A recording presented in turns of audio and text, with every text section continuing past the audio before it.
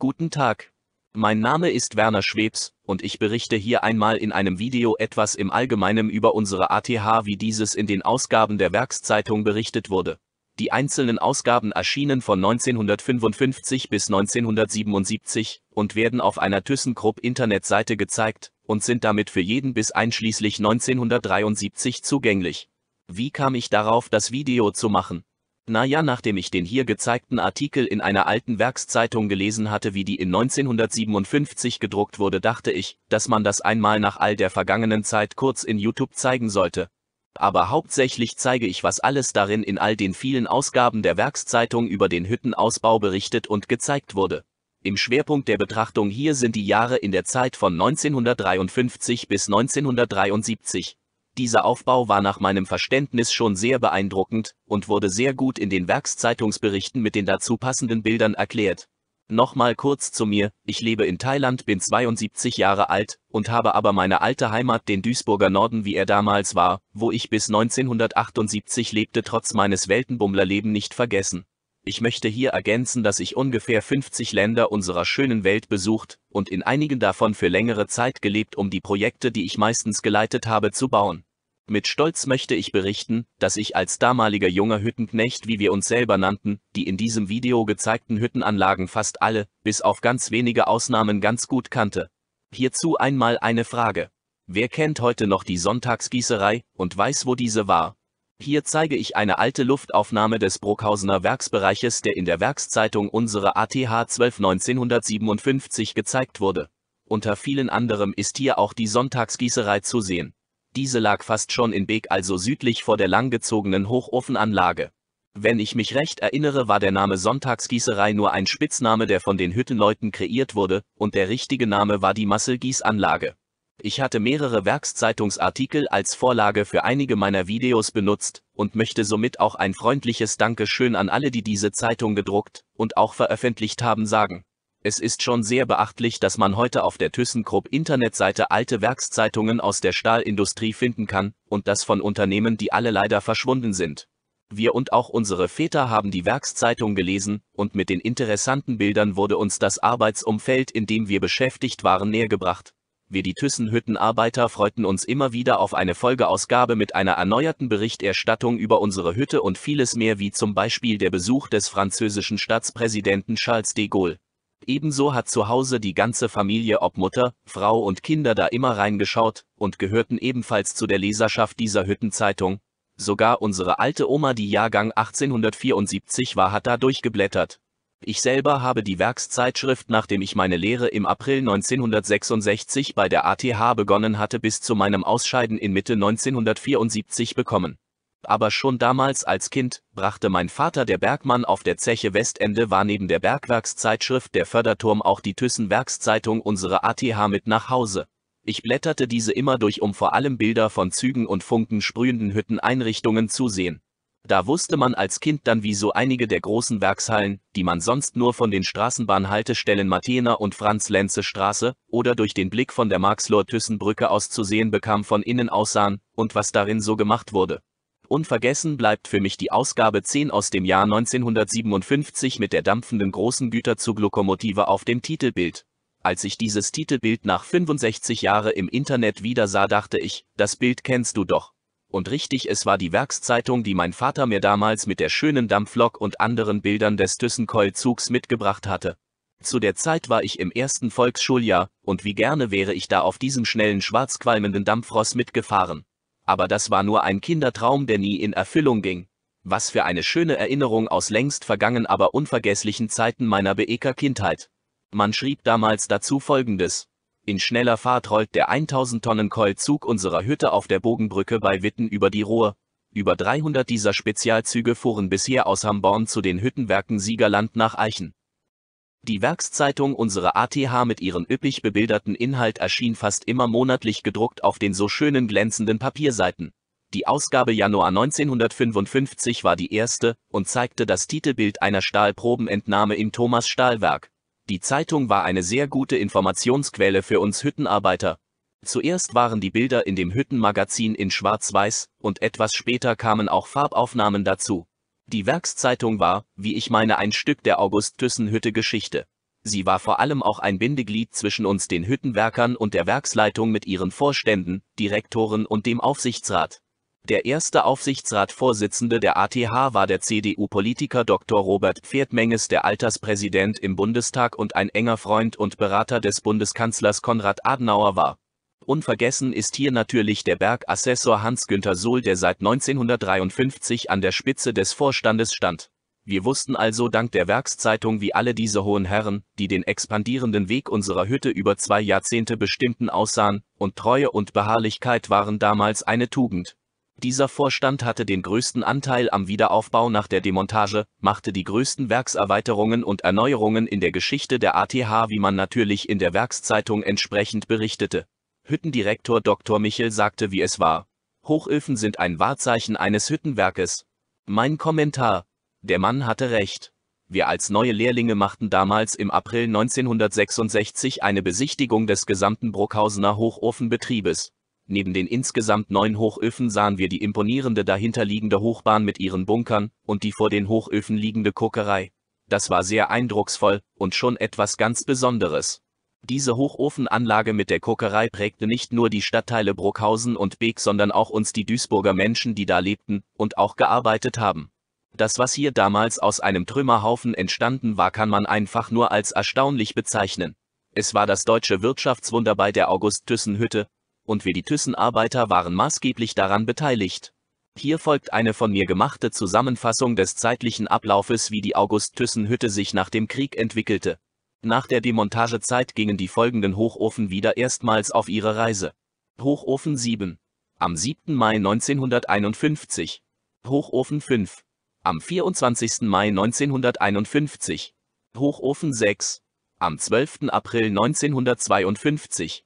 Hochofen 9 am 27. Dezember 1952, Hochofen 8, am 24. Januar 1955, Hochofen 2, am 15. Oktober 1955, Hochofen 4, am 5. Juli 1957.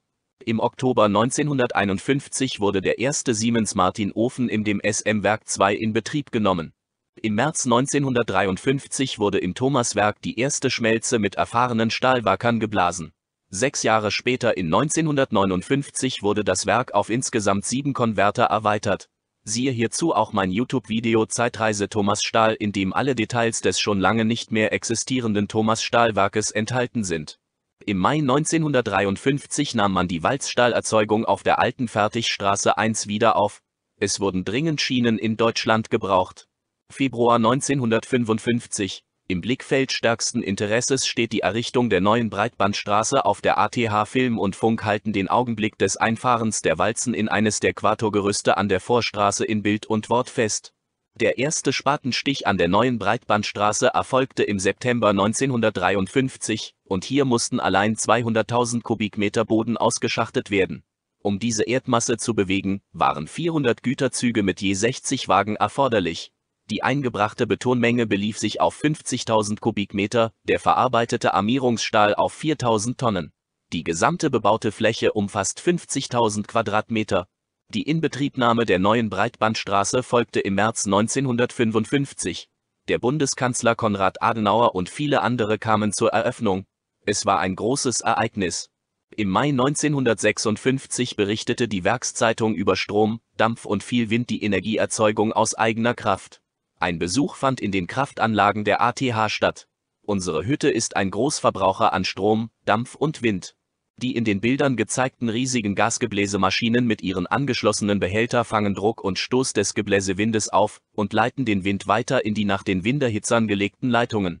Im Juli 1956 begann das Kaltwalzwerk mit seiner Produktion, Zuvor flog eine Gruppe von 15 Thyssen Kaltwalzer in die USA zum Armco-Stahlwerk in Middletown, um neue Methoden rund um das Kaltwalzen zu erlernen. Am 15. November 1956 wurde der erste Koks der neuen Batterie 1 unserer Kokerei August Thyssen aus dem Ofen 3 gedrückt. Zahlreiche Belegschaftsmitglieder der Kokerei und Gäste erlebten diesen wichtigen Augenblick. Der Kohlenturm zeigt eine neuartige Silhouette und wurde erstmals aus Spannbeton erbaut und schließlich ging im Februar 1957 das neue Siemens-Martin-Stahlwerk mit zwei Öfen in den Betrieb. Es war ein elegantes Werk mit seiner Glasfassade. In 1958 folgten zwei weitere Öfen. Auch hier flog eine Gruppe von acht Thyssen-Stahlwerker vom Siemens-Martin-Werk 1 in die USA zum Armco-Stahlwerk in Middletown, um die neuen Methoden rund um das Stahlkochen im SM-Ofen mit den neuen Chargiermaschinen, die den Ofen beschickten, zu erlernen. Siehe hierzu auch mein YouTube-Video SM-Stahlwerk. Die Blockbrammenstraße 2, gebaut im Jahr 1957, nahm ihren Betrieb auf und lieferte die gewalzten Brammen zu dem Warmbandwerk 1. Hinter der Blockstraße war die Flemmerei, wo die gewalzten Brammen, ich sage mal einfach mit Sauerstoff angeheizt von einer Acetylenflamme geputzt wurden. Im April 1958 wurde berichtet, dass die ATH im Berichtsjahr 1957 in einem erweiterten Kreis von Beteiligungsgesellschaften, deren geschäftliche Entwicklung im Allgemeinen wiederum zu neuen Höchstziffern in Produktion und Absatz führte stand. Wegen des anhaltenden Kostendrucks konnten die Ergebnisse allerdings nicht überall voll befriedigen. Das Schaubild zeigt die wichtigsten Beteiligungen und ihren Umfang. Danach berichtete man über das Anita Thyssen-Heim Testerberge und bezeichnete es als das Paradies im Grünen, das inmitten der Waldungen des Naturschutzgebietes Wacholdertal lag. Im gleichen Zeitraum berichtete man, dass das Kraftwerk Hamborn an der Alsumer Straße erweitert und verstärkt wurde. Der Werkshafen Schwelgern erhielt im Oktober 1958 eine moderne Bandförderanlage für Erze und drei neue Portalkräne und eine große Verladebrücke erhöhen die Verladekapazität des Hafens. Hierzu präsentierte man uns eine schematische Übersichtszeichnung und eine Luftaufnahme des ATH-Hafens Schwelgern, die uns einen guten Überblick der gesamten Anlage gab. In der Ausgabe Mai 1959 berichtete man, dass unsere Hütte den neu errichteten Hochofen 10, also den achten des Bruckhausener Hochofenwerkes, in Betrieb genommen hatte. Es war fast genau auf den Tag acht Jahre nach jenem 7. Mai 1951, an dem Hüttendirektor Dr. Michel nach sechsjähriger Stillstandszeit den ersten Hochofen der ATH auf die Reise geschickt hatte. Seither wurden bis Ende April 1959 von den ATH-Hochöfen insgesamt 8,9 Millionen Tonnen Roheisen erschmolzen. Es ging weiter in 1959 mit dem Bau der Fertigstraße 2, die offiziell als Universalträgerstraße bezeichnet wurde. Diese begann den Walzbetrieb im September 1960 und produzierte Doppel-T-Träger. Hier könnte man fast sagen am laufenden Band. Die lang gewalzten Träger wurden durch eine fliegende Säge auf spezifizierte Längen getrennt. Die modernen Gebäude von Versuchsanstalt und Labor, die nach einem Entwurf von Professor Weber, München, in über zweijähriger Bauzeit entstanden, ersetzen die im Kriege zerstörten Forschungsinstitute unserer Hütte, deren Aufgaben seither in kriegsbeschädigten Häusern und verstreut an zahlreichen Stellen des Werkes weitergeführt worden waren. Hüttendirektor Dr. Michel konnte diese Neubauten am 15. Juni 1959 ihrer Bestimmung übergeben an einer Feierstunde in der Schmelzofenhalle der Versuchsanstalt nahmen neben dem Vorstand unserer Hütte Mitglieder des Betriebsrates, der Betriebsleitungen und Belegschaft sowie zahlreiche Persönlichkeiten aus Wissenschaft, Wirtschaft und Behörden teil. Unter ihnen befanden sich der Rektor der Technischen Hochschule Clausthal, Professor Dr. Oelsen und Professor Dr. Eilender als Vertreter der Technischer Hochschule Aachen, zweier Lehranstalten, denen sich unsere Hütte besonders eng verbunden weiß. Die neue Bandverzinkung der ATH ist Mitte 1959 angelaufen. In den letzten Monaten sind die Betriebe unserer Hütte um eine neue wichtige Anlage bereichert worden. Im Anschluss an das Kaltwalzwerk hat die vollkontinuierliche Bandverzinkung nach dem Amco-Sensimir-Verfahren ihre Produktion aufgenommen. Sie erzeugt monatlich zwischen 6000 und 8000 Tonnen verzinktes Blech, das in Form von Coils oder Tafeln den Weg zu den Verarbeitern nimmt. Die schematische Darstellung zeigt die einzelnen Aggregate der Anlage. Die Gesamtlänge der Anlage beträgt 255 Meter, die Länge des Ofenteils allein 125 Meter. Im Oktober 1959 wurde die Batterie 4 der Kokerei August Thyssen in Betrieb genommen. Das Bild zeigt die Gäste bei der Eröffnung in Bruckhausen. Es ging weiter im September 1959. Das neue Tor 1 unserer Hütte war im Bau. Die ersten Arbeiten, die das Gesicht unseres Werkes an der Kaiser-Wilhelm-Straße verändern werden, wurden begonnen. Die alte ziemlich schmutzig aussehende hohe Mauer, die das Werk umsäumte mit dem alten Werkseingangsgebäude 1 hatten ihre letzten Tage gesehen. Ich erinnere mich noch ganz gut an die alte Werksmauer, da wir auch früher mit der Straßenbahn der Linie 1 da vorbei gefahren sind und nicht nur das, sondern auch gelaufen sind. Gegen Ende 1959 berichtete die Werkszeitung über die neue Hochstraße, Werkstore und Straßen. Hier im Bild ist der neue Straßenbau bei der ATH und die neue Hochstraße zwischen Warmbreitbandstraße und SM Stallwerk 2, die Hüttendirektor Dr. Michel nach einer Bauzeit von 14 Monaten im November 1959 dem Verkehr übergeben konnte. Sie hat eine Gesamtlänge von 465 Meter, von der 315 Meter in Stahlkonstruktion in Form eines langgestreckten S auf 11 überbauten die Rangiergeleise überspannen. Eine ganze Reihe von Werkstoren wurde in der letzten Zeit modernisiert, zum Teil neu gebaut. Hier in Bild gezeigt ist Tor 3 und Tor 6. Beide Werkstore kannte ich sehr gut, da ich diese damals sehr häufig in meinen jungen Jahren durchschritten habe. Auch vom Sport berichtete die Werkszeitung Ende 1959 mit dem Titel, dass die ATH eine komplette Fußball-Oberliga 11 bei Hamborn 07 stellt. Das große Thyssen-Wirtschaftswunder wurde in den 60er Jahren fortgesetzt, und das Bauen ging pausenlos weiter. Man baute fast ohne Ende und kannte hier keine Grenzen. Neues Bauen ein Gespräch mit Professor Gerhard Weber, dem Architekten des neuen Verwaltungszentrums der August-Thyssen-Hütte und vielen anderen Anlagen wie das Siemens-Martin-Werk 1, Warmbandwerk 1 und viele andere. Die Mitarbeiter der Neubauabteilung in ihrem schönen neuen Büro auf der Franz-Lenze-Straße, das auch Aquarium genannt wurde, waren damit sehr beschäftigt. Anfang 1960 begann man mit dem Bau der neuen Hauptverwaltung in Bruckhausen. Diese Baustelle war genau an der Stelle, wo einmal ein Fahrradgeschäft war. Meine Oma kaufte mir da 1958 mein erstes so geliebtes buntes Fahrrad mit 24 Zoll Rädern. Damals war ich gerade sieben Jahre alt, aber dieser Tag ist für mich einfach unvergesslich, obwohl das bereits 65 Jahre her ist. Meine geliebte Oma war zu dieser Zeit bereits 84 Jahre alt, und wir sind von Beek nach Bruckhausen und zurück die insgesamt fast sieben Kilometer natürlich gelaufen. Stolz, es wurde schon dunkel, schob ich mein Fahrrad auf dem Rückweg in meinem Händen, da ich das Radfahren ja erst richtig lernen musste. Zur gleichen Zeit mit der Baustelle der neuen Hauptverwaltung also in 1960 fing man mit dem Bau eines gesamten neuen Hüttenwerkes in Beekerwert an. Die Werkszeitung schrieb damals, es war zweifellos ein weitragender, in die Zukunft greifender Entschluss, auf der an das bestehende Werk angrenzenden Schlackenhalde in Beeckerwert ein neues Werk zu errichten, das in seinen Größenordnungen den bisherigen Anlagen in mancher Hinsicht gleichkommt oder sie sogar übertrifft. Hier möchte ich noch ergänzend sagen, dass es sich bei der zuvor genannten Schlackenhalde um die Schlacke der ansässigen Thomas Schlackenmühle und der erst in 1959 in Betrieb genommenen Zementfabrik handelte. Die Werkszeitung schrieb dazu, zu den neuen Anlagen, die unsere Hütte in diesem Jahr in Betrieb nehmen konnte, gehört eine moderne Zementfabrik in Beekerwert. Während bisher ein Teil der Mal Anlagen unserer Thomas Schlackenmühle für die Produktion von Hüttenzement benutzt werden musste, stehen hierfür jetzt eigene Einrichtungen zur Verfügung. Des Weiteren möchte ich hier erwähnen, dass auf den riesengroßen Gelände am Rhein noch die Beekerwerter Zeche stand und auch noch bis 1963 im Betrieb war. Im Dezember 1960 zeigte uns die Werkszeitung eine schöne winterliche Panoramaaufnahme der Hütte von dem ausgebauten Hafen Schwelgern aus gesehen. Oben rechts im Bild ist die Sinteranlage 1 zu sehen. Zwischenzeitlich in 1960 und 1961 berichtete die Werkszeitung über den Ausbau des Breitband- und Kaltwalzwerkes. Hier ist noch ein weiteres interessantes Bild aus dem Kaltwalzwerk, und zwar am Auslauf der Vierfachtandemstraße. Am 7. Januar 1960 fand in der neuen Motorenhalle in der Nähe der Schreinerei eine vom Betriebsrat einberufene Betriebsversammlung statt, die von etwa 4000 Mitarbeitern besucht war. Kurz danach berichtete man, dass der Lohn für alle Lohnempfänger erstmals als voller Monatslohn auf ein Konto bei einer Bank oder Sparkasse überwiesen wird.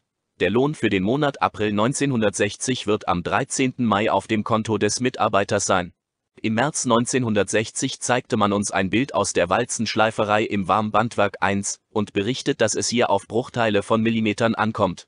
Zusätzlich zeigte man uns ein Bild von dem Schienenlager der Zurichtung der Fertigstraße 1.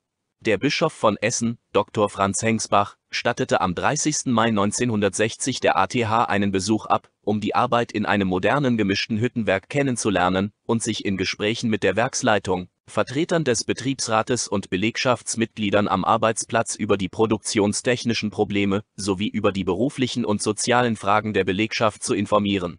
Bergassessor Dr. Sohl begrüßte den hohen Gast und seine Begleitung. In allen Betrieben ließ sich Bischof Dr. Hengsbach durch Dr. Michel und die Betriebschefs die technischen Vorgänge eingehend erläutern und unterhielt sich immer wieder mit den Arbeitern an ihren Arbeitsplätzen. Im Siemens Martin Stahlwerk 1 erlebte er einen Kokillenguss und diskutierte später lange mit Oberingenieur Becker.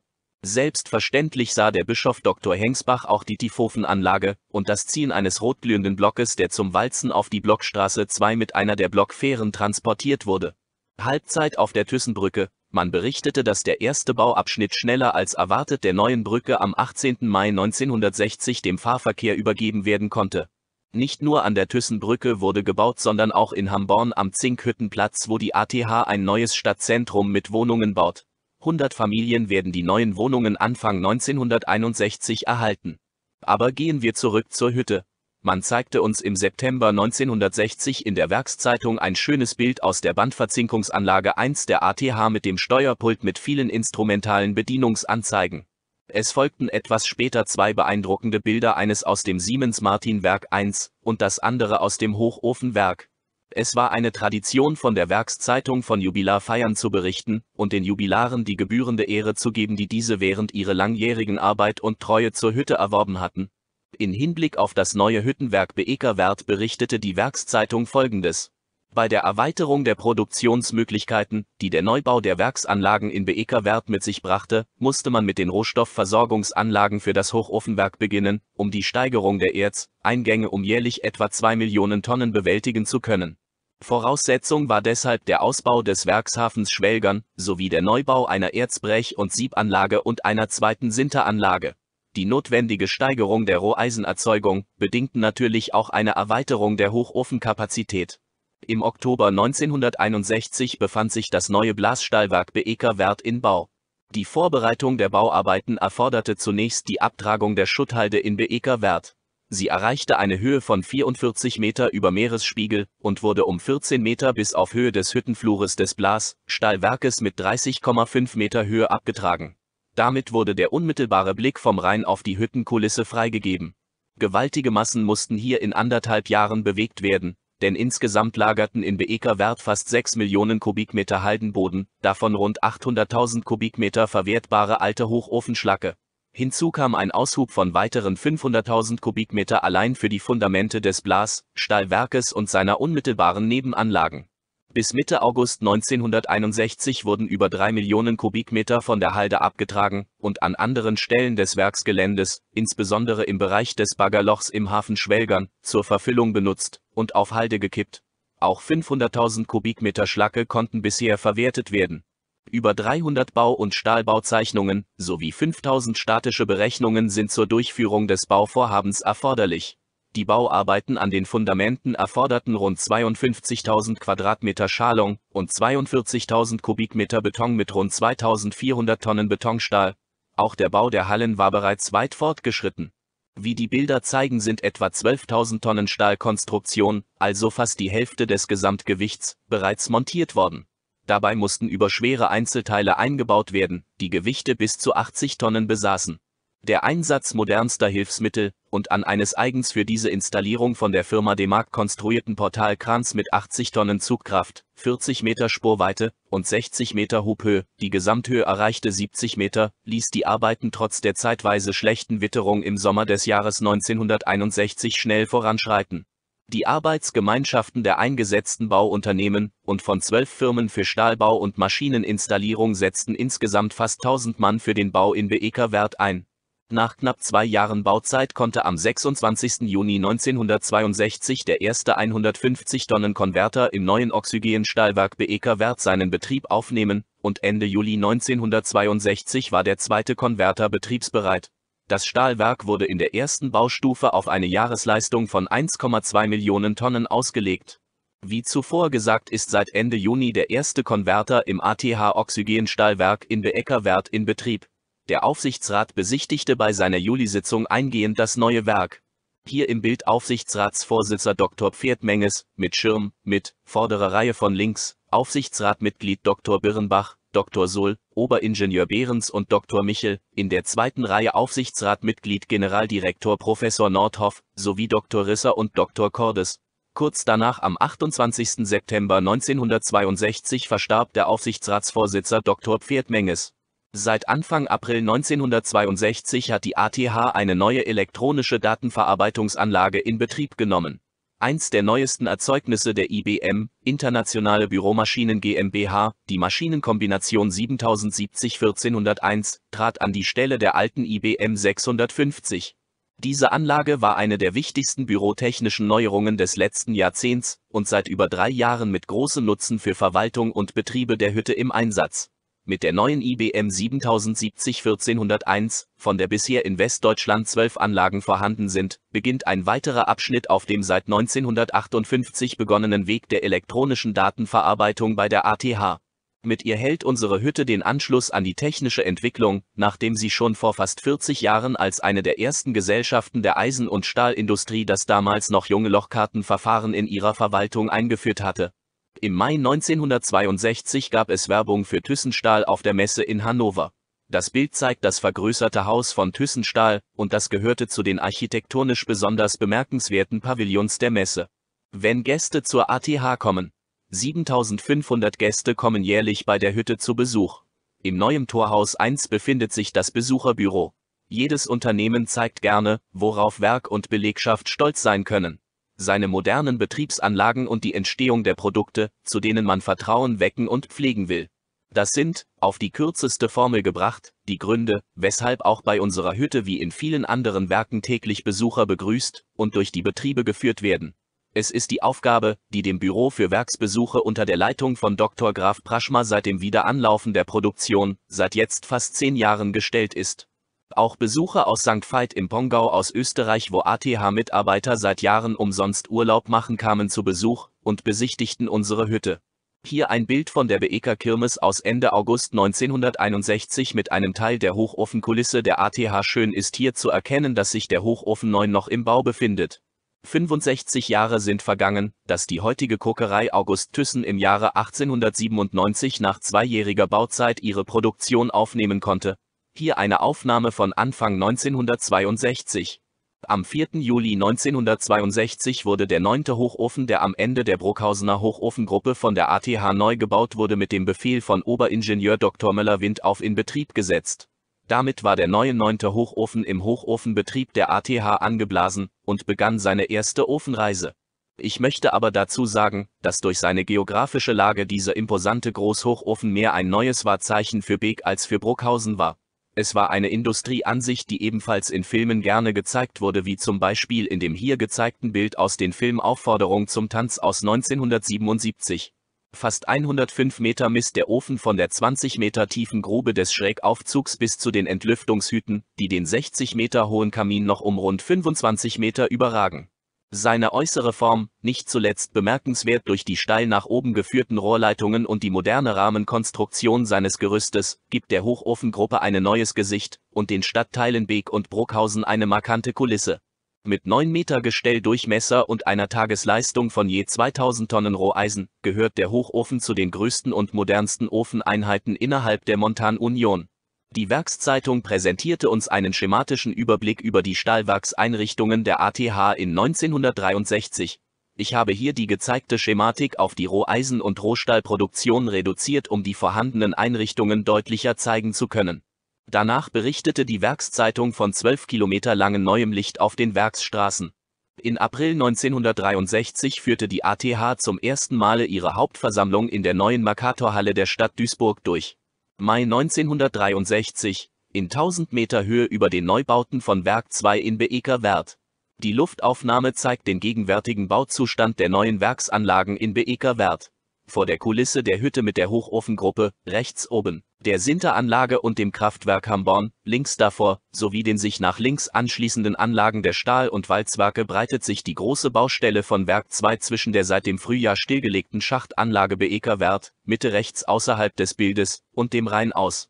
Am linken Bildrand erkennt man in der oberen Hälfte bei Alsum einige Kribben in Höhe des Einlaufs der alten Emscher in den Rhein links neben der Schachtanlage der Komplex des seit fast einem Jahr arbeitenden Oxygenstahlwerkes, nördlich davon die Hallen der Tiefofenanlage und der sich nach Westen anschließenden Brammenstraße 3, die in Kürze in Betrieb genommen wird.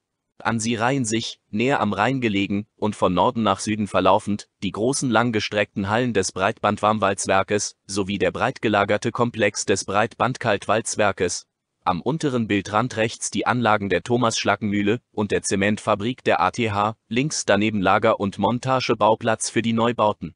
Es folgte ein Bild mit dem Kokillenguss im neuen Oxygenstahlwerk in Beeckerwert aus einer 150 Tonnen Gusspfanne. Das Werk 2 in Beeckerwert wächst weiter, schrieb man in der Werkszeitung im September 1963 und zeigte uns unter anderem ein Bild von den Hallen des neuen Breitbandwarmwalzwerkes, Siehe hierzu auch mein YouTube-Video Warmbandstraße 2.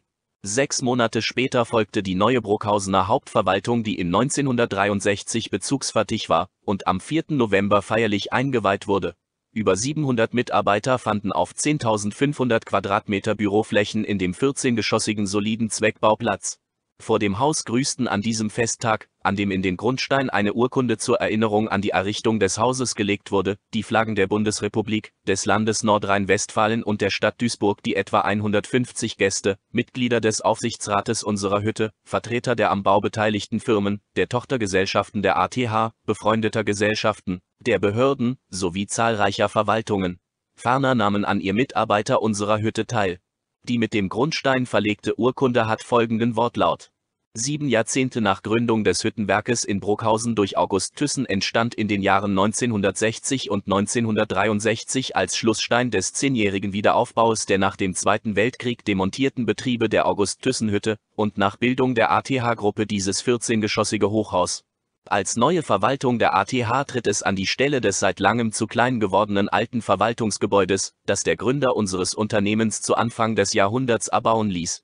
Entwurf und Planung des Hauses, das über 700 Mitarbeitern moderne Arbeitsplätze gibt, stammen von Professor Gerhard Weber, München, in dessen Händen auch die Bauleitung lag. Am Montag, dem 4. November 1963, wurde in Anwesenheit von Vertretern des Rates und der Verwaltung der Stadt Duisburg, der ATH und ihrer Tochtergesellschaften, des Architekten, der Bauunternehmen sowie weiterer Gäste diese Urkunde in den Grundstein des neuen ATH-Hauses gelegt und das Gebäude damit seiner Bestimmung übergeben. Der Vorstand der damalige Oberbürgermeister der Stadt Duisburg, August Seeling, lobte in seiner Ansprache die ATH-Entwicklung und sagte, würde August Thyssen noch einmal auferstehen und sehen, mit welcher kühnen unternehmerischen Initiative sein Werk und sein Erbe weitergeführt worden sind, er könnte sich in der Gewissheit, dass alles in guten Händen ist, wieder zur Ruhe legen. Ebenfalls im November 1963 berichtete man, dass der Werkshafen Schwelgern der ATH gegenwärtig ausgebaut wird, um seine Umschlagkapazität um rund ein Drittel auf etwa 16 Millionen Jahrestonnen zu erhöhen.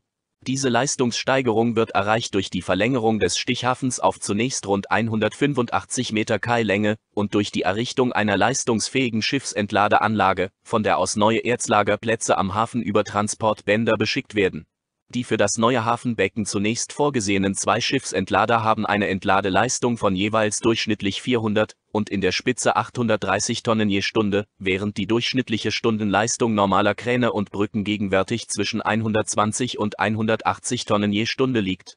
Ohne Verzögerung in dem gleichen Zeitraum folgte ein Bericht in der Werkszeitung, dass sich der neue ATH Hochofen 4 seit Ende 1961 in Bau befand mit ihm, der eine Höhe von 99 Metern hat, veränderte sich erneut die Kulisse des Hochofenwerkes, wie das hier gezeigte Bild deutlich präsentiert, nachdem bereits in den letzten Jahren die Hochöfen 8 und 9 am Ende der Ofenreihe dem Werk einen neuen Akzent gaben. Der neue Hochofen 4 wird an der Stelle des alten Hochofens 6 errichtet und mit seinem Gestelldurchmesser von 9,5 Meter zu den größten Hochöfen der Welt zählen. Seine Tageskapazität wird über 2000 Tonnen Roheisen betragen. Die von mir gezeigten Bilder in dem Video vermitteln einen Eindruck von den Montagearbeiten an diesem Hochofen, der seinem Äußeren nach mit dem Hochofen 9 sehr verwandt ist. Die Tatsache, dass in unmittelbarer Nähe der Baustelle die Produktion der anderen Hochöfen ungehindert weitergeführt werden muss, beeinflusst selbstverständlich den Fortgang der Bauarbeiten. Es wird noch einige Zeit vergehen, bis Ofen 4 festlichen Schmuck zum ersten Abstich anlegen kann. Für den Bau des Ofens werden 15.000 Tonnen Stahl benötigt und montiert, außerdem 8.000 Tonnen feuerfestes Mauerwerk. Ein Farbfoto des Hochofens mit dem Blick auf den Schrägaufzug, den mit einem Stahlmantel umkleideten Kamin, sowie auf die Winterhitzer zeige ich hier ebenfalls. Zweimal wehte die Flagge auf Halbmast vom Hochofen der August-Thyssen-Hütte. Am Ende des Jahres 1963, kurz nach der feierlichen Einweihung des neuen Verwaltungsgebäudes, musste die ATH zweimal die Flaggen auf Halbmast setzen, Einmal anlässlich der Trauer über den Mord an dem amerikanischen Präsidenten Kennedy und Mitte Dezember 1963 zum Tode von Altbundespräsident Professor Heuss. Wieder einmal verändert sich das Bild im Hafen Schwelgern.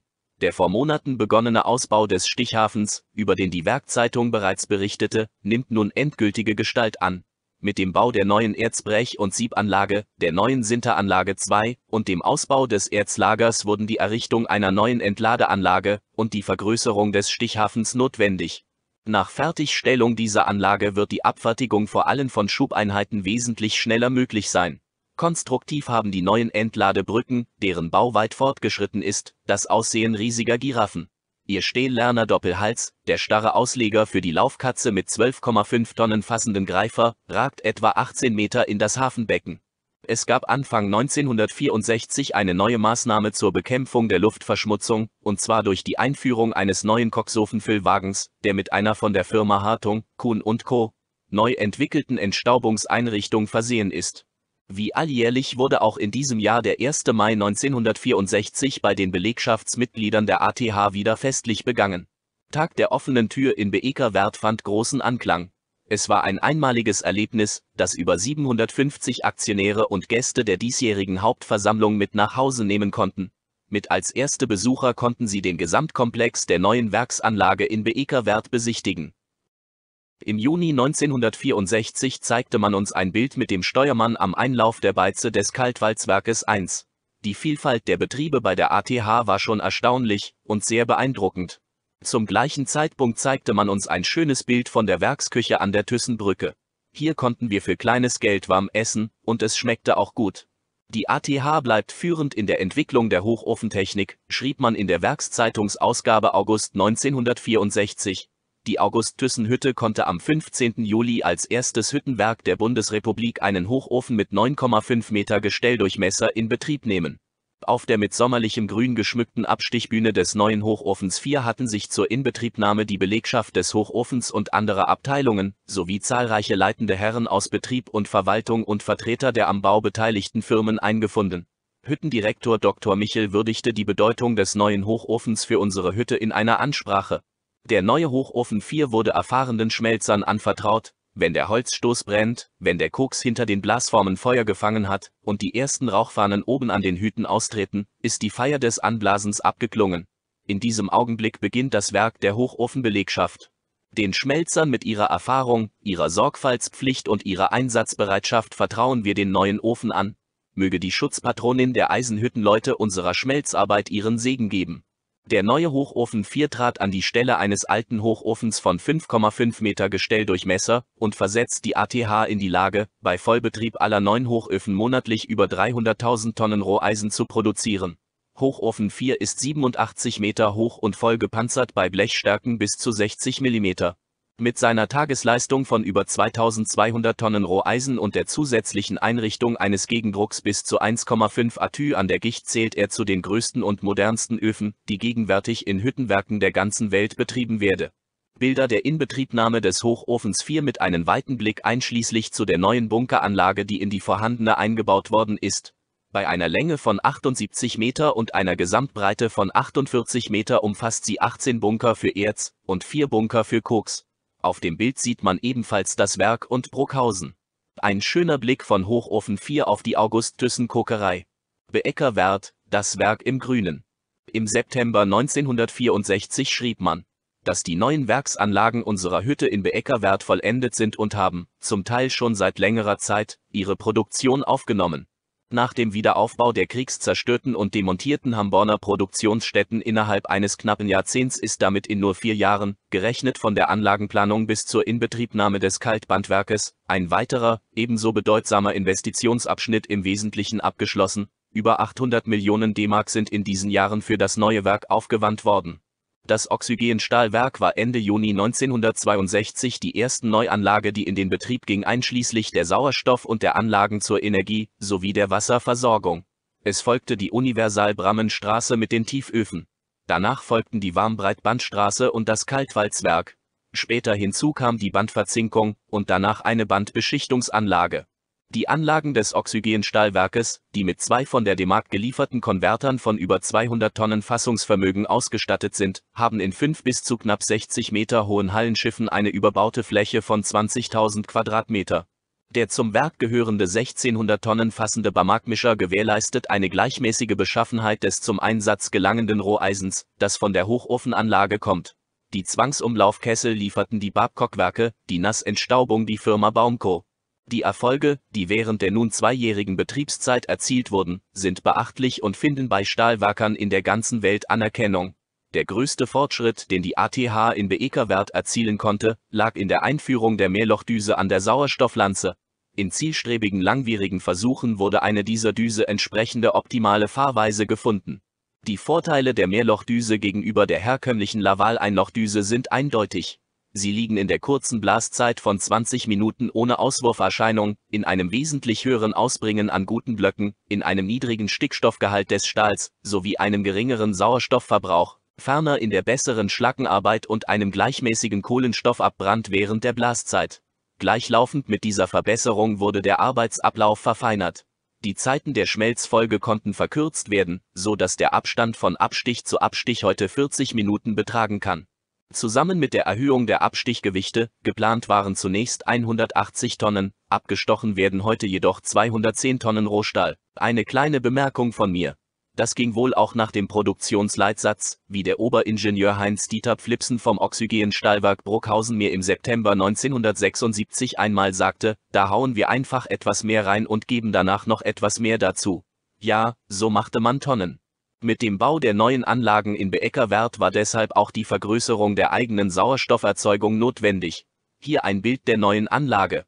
Monatlich wurden hier 9 Millionen Kubikmeter Sauerstoff aus der Luft umgewandelt. Über die Universal-Brammenstraße und die Warmbreitbandstraße sage ich hier nichts mehr, da ich bereits separate Videos darüber gemacht habe.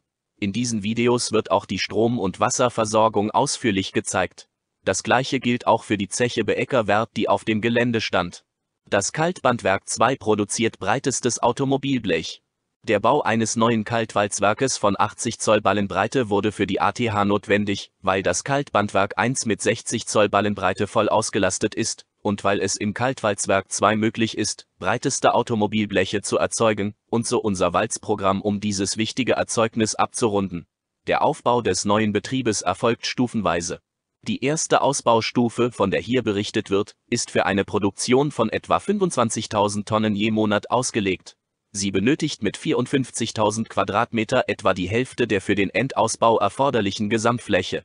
Die späteren Erweiterungen sind so eingeplant, dass die in Betrieb befindlichen Anlagen beim Ausbau nur wenig behindert werden.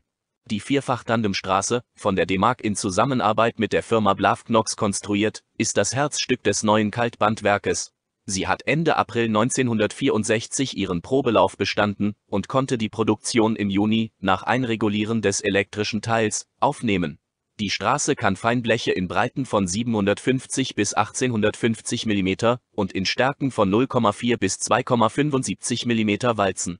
In Februar 1966 wurde eine Schwefelsäurebeize in Betrieb genommen, die für ein 2000 mm breites Band ausgelegt ist diese neue Beize, im mechanischen Teil von der Firma Damiron, Paris, in amerikanischer Lizenz und im elektrischen Teil von der Firma Rheinische Elektromaschinenfabrik Krefeld, gebaut, kann Breiten zwischen 750 und 1850 mm verarbeiten.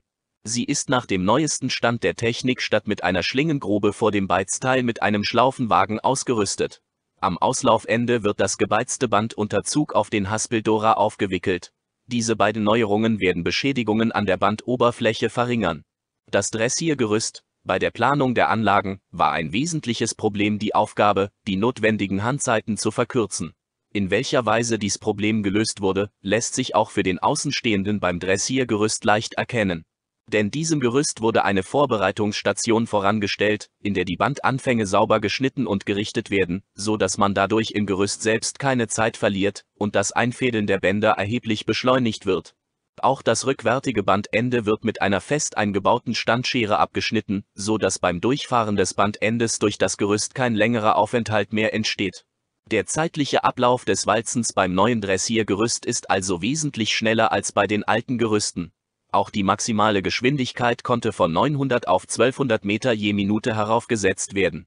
Die Firma Sack stellte den mechanischen Teil, die Firma Siemens den elektrischen Teil des Gerüstes her. Um die Bänder auf die von den Kunden gewünschten Formate zu bringen, wurde die Zurichtung mit zwei Ungerer-Scherenlinien von 1250 und 1850 mm Breite sowie einer Ätna-Scherenanlage ausgestattet. Eine Comic-Spalt- und Umwickelanlage ermöglicht die Längsteilung der Bänder. Außerdem können Bänder umgewickelt, eingeölt und inspiziert werden. Ein weiteres Bild aus der Werkszeitung, 125 Jahre Beeker Kirmes in August 1964 vor der ATH Hochofenkulisse mit weißrauchenden Kühltürmen. Der erste Thyssen-Tag gegen Ende 1964 wies den Weg in die Zukunft der Thyssen-Gruppe. Etwa 180 Mitarbeiter konnte Dr. Sohl bei Eröffnung des Thyssen-Tages am 16. Dezember an historischer Düsseldorfer Stätte, im Malkasten nämlich, begrüßen. Den Auftakt gaben Vorträge von Dr. Sohl und Dr. Michel über grundsätzliche wirtschaftliche und technische Fragen des Thyssen-Bereichs.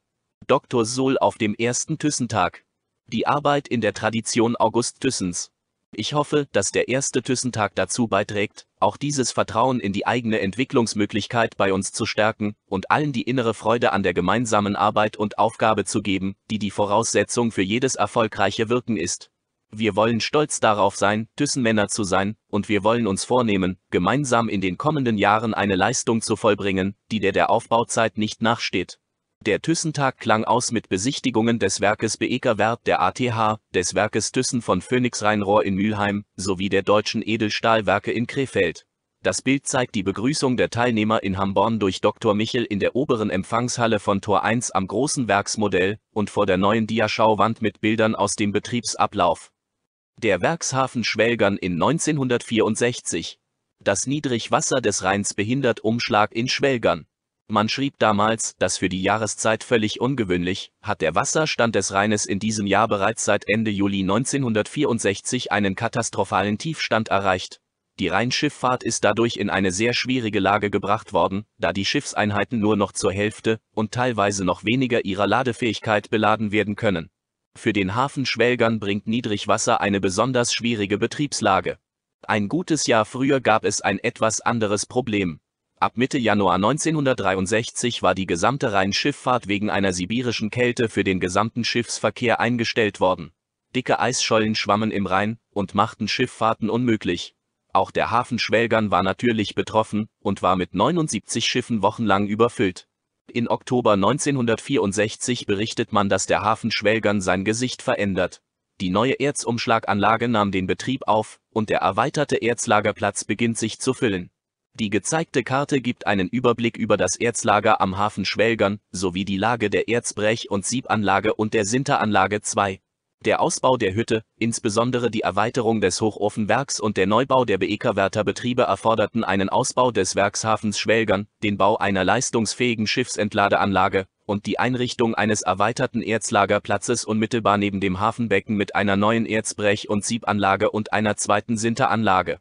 In der vorhandenen Alsumer Sinteranlage 1 kann der Sinterbedarf nicht gedeckt werden. Der günstige Standort Schwelgern erspart die Waggontransporte für den größten Teil der zur Verarbeitung gelangenden Erze, die im Hafen eingehen. Sie können nämlich künftig kostengünstig über eine Förderbandanlage direkt von den Schiffen oder vom unmittelbar nebenan liegenden Erzlagerplatz sowie der Erzbrech- und Siebanlage und der Sinteranlage 2 herangebracht werden. Das Bild von der neuen Sinteranlage wurde aus der luftigen Höhe des Schornsteins gemacht. Der neue Kaminriese von Duisburg ist 150 Meter hoch. Ein markantes Wahrzeichen der neuen ATH-Sinteranlage 2 am Werkshafen Schwelgern. So hoch wie die beiden Männer auf dem Bild in der Mitte dieser Seite, standen noch keine Menschen auf einem Bauwerk in Duisburg.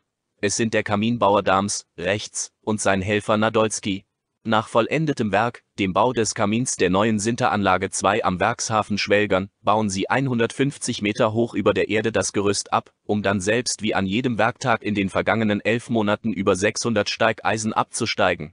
Die neue Sinteranlage 2 mit den Erzbrech- und Siebanlagen ging Anfang 1965 bei der ATH in Betrieb und war zu der Zeit eine der modernsten ihrer Art. In Dezember 1964 berichtete man, dass der ATH der Kampf gegen den braunen Rauch viele Millionen kostet. Wenn der Konverter im Thomaswerk bläst, schlägt feurige Lohe aus dem Kamin. Während ein Abfangen des braunen Rauches in den Thomaswerken schwierig ist, linkes Bild, ist dieses Problem im neuen Oxygenstahlwerk der ATH in Beeckerwert gelöst. Nur eine Dampfwolke entweicht dem Kamin. Man berichtete, dass der Anteil des Thomasstalls rückläufig sei und dass die Entwicklung zu mehr sauberen Oxygenstahl sein wird. Anfang 1965 zeigte man uns, wie ich meine zwei beeindruckende Bilder eines aus der Kokerei August Thyssen, das uns die Arbeit vor dem Schließen eines Fülllochs zeigt. Das andere Bild zeigt uns die Rohre und Räder während eines Blickes auf die Hochöfen der August Thyssen Hütte.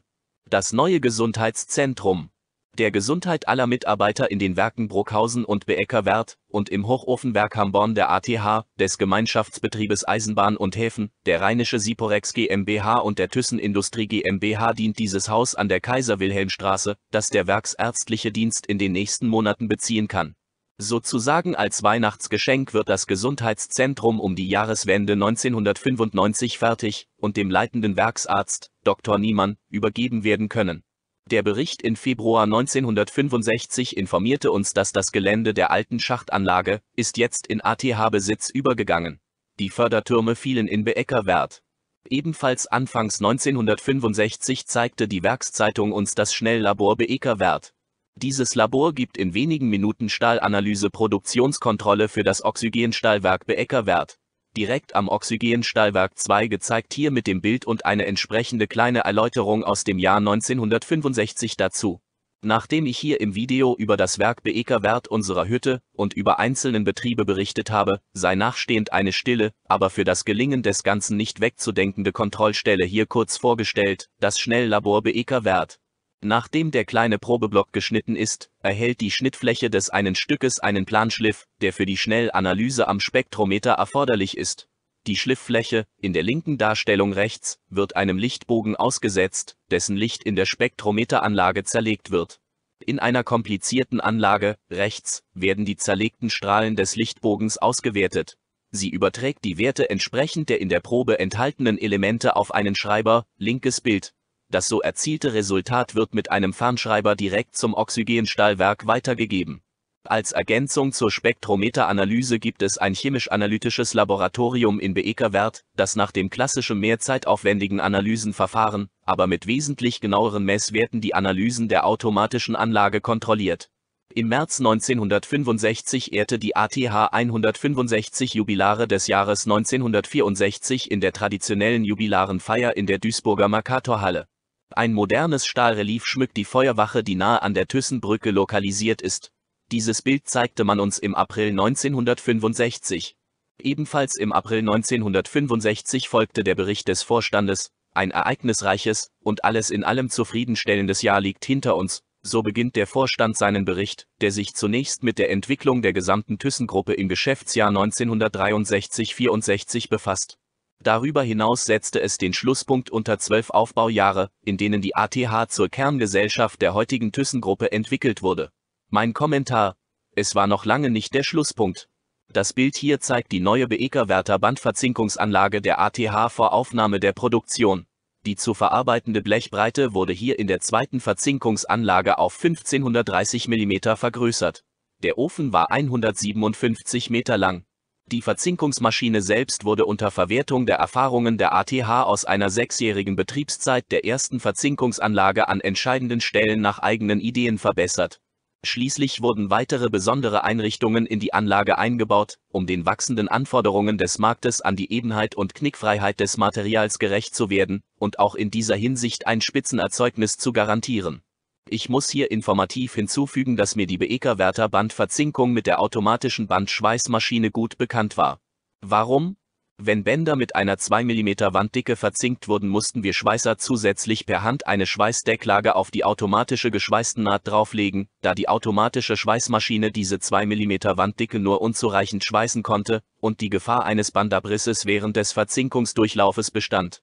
Wir Schweißer waren zu zweit und sprangen mit unserem Schweißkabel auf das Band, nachdem die automatische Maschine geschweißt hatte und hatten nur kurze Zeit, um unsere Arbeit zu machen, bevor der Schlingenwagen, der die Bandschlinge steuert, ausgelaufen war. Wir sprangen dann schnell von dem Band wieder runter. Nachdem ein Keul durchgelaufen war, ging das Ganze wieder von vorne los. Wir Schweißer dachten immer, hoffentlich reißt das Band nicht.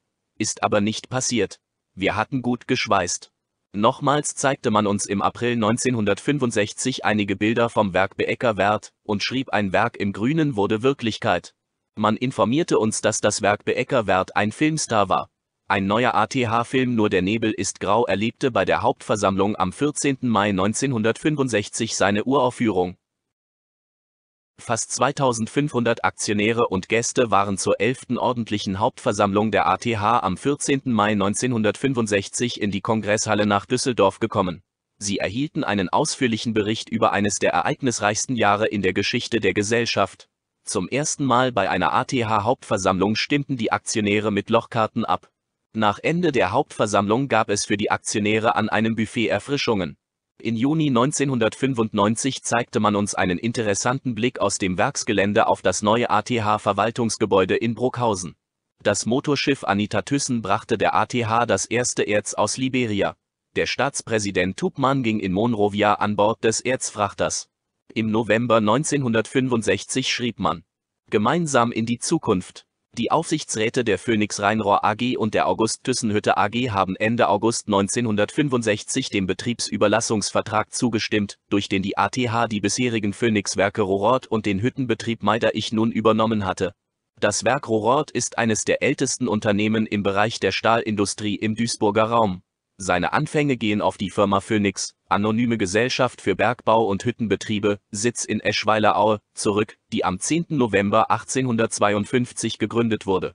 Schon den Gründern schwebte ein gemischter Betrieb vor, eine damals ganz neue Idee, die noch heute, mehr als 100 Jahre später, ebenso zeitgemäß ist. Der ATH-Vorstand schrieb unter anderem, alle Mitarbeiter der Werke Rohrort und Hüttenbetrieb möchten wir im Kreis der ATH-Belegschaft herzlich willkommen heißen. Mit dem neuen Verbund lebt eine alte und bewährte Werksgemeinschaft wieder auf, die sich im menschlichen Bereich ohnehin weitgehend erhalten hatte. Zählen doch heute noch viele alte Hamborner zu den Belegschaften in Rohrort und Hüttenbetrieb, wie umgekehrt so manche Mitarbeiter in Hamborn und Beeckerwert die beiden anderen Werke aus früheren Zeiten her wie ihre Westentasche kennen. Das ist eine gute Basis für unsere gemeinsame Arbeit. Hier ist eine Luftaufnahme von Rohrort, La und Meiderich mit Blick auf die Werke Rohrort im Zentrum der Aufnahme und Hüttenbetrieb, am linken Bildrand oben. Deutlich ist die Lage der einzelnen Betriebe zu erkennen. Neben der Rohrort-Homberger Brücke das Hochdruckkraftwerk, darüber die Stahl- und Walzwerke mit den Hochöfen des Rohrorter Werkes, in der Mitte der Nordhafen, links am Rande die Sinteranlage und darüber das Werk Hüttenbetrieb. Ein seltenes Bild, das das Arbeiten der Massegießmaschine im Werk Hüttenbetrieb zeigt. Mit Wirkung vom 1. Oktober 1965 war Herr Peter Schmidt, der bis dann dem Vorstand von Phoenix Rheinrohr angehörte, als Mitglied in den ATH-Vorstand berufen worden. Für die beiden Werke Rohrort und dem Hochofenwerk Hüttenbetrieb ist er als Arbeitsdirektor zuständig. Große Investitionen zur Entstaubung für die Zukunft, bestehen eine Reihe von Planungen, um die Werke noch leistungsfähiger zu machen. So werden ab Frühjahr 1966, nach der Inbetriebnahme des neuen LD-Konverters, in Rohrort die drei bodenblasenden Konverter nacheinander entstaubt. Im Walzwerksbereich sind Bauprogramme in Arbeit, die eine kostengünstigere Produktion ermöglichen, so an der Halbzeugstraße 1, an der Straße 3 und an der Conti-Straße 1. Auf dem Gelände des Schlackenberges La entsteht eine große Bearbeitungshalle für den im Werk Rohrort erzeugten Röhrenstahl. Sie wird moderne Richt-, Flemm- und Zerteilanlagen erhalten und soll im kommenden Frühjahr in Betrieb gehen. Das Gelände des Schlackenberges war groß streckte sich in La von der Thomasstraße bis zu den alten Bunkern in Beek und bis zur Steppische Straße. Als Kind war dieser Schlackenberg für mich einfach faszinierend. Es gab auch ein paar raue Kerle, die dort nach Eisen suchten und sich da ein paar Mark zu verdienen. Auch noch gut zu sehen in der Mitte des Bildes ist die alte Erzhochbahn, die sich damals durch La schlängelte. An Tor 8 begann inzwischen der Neubau eines Laboratoriums.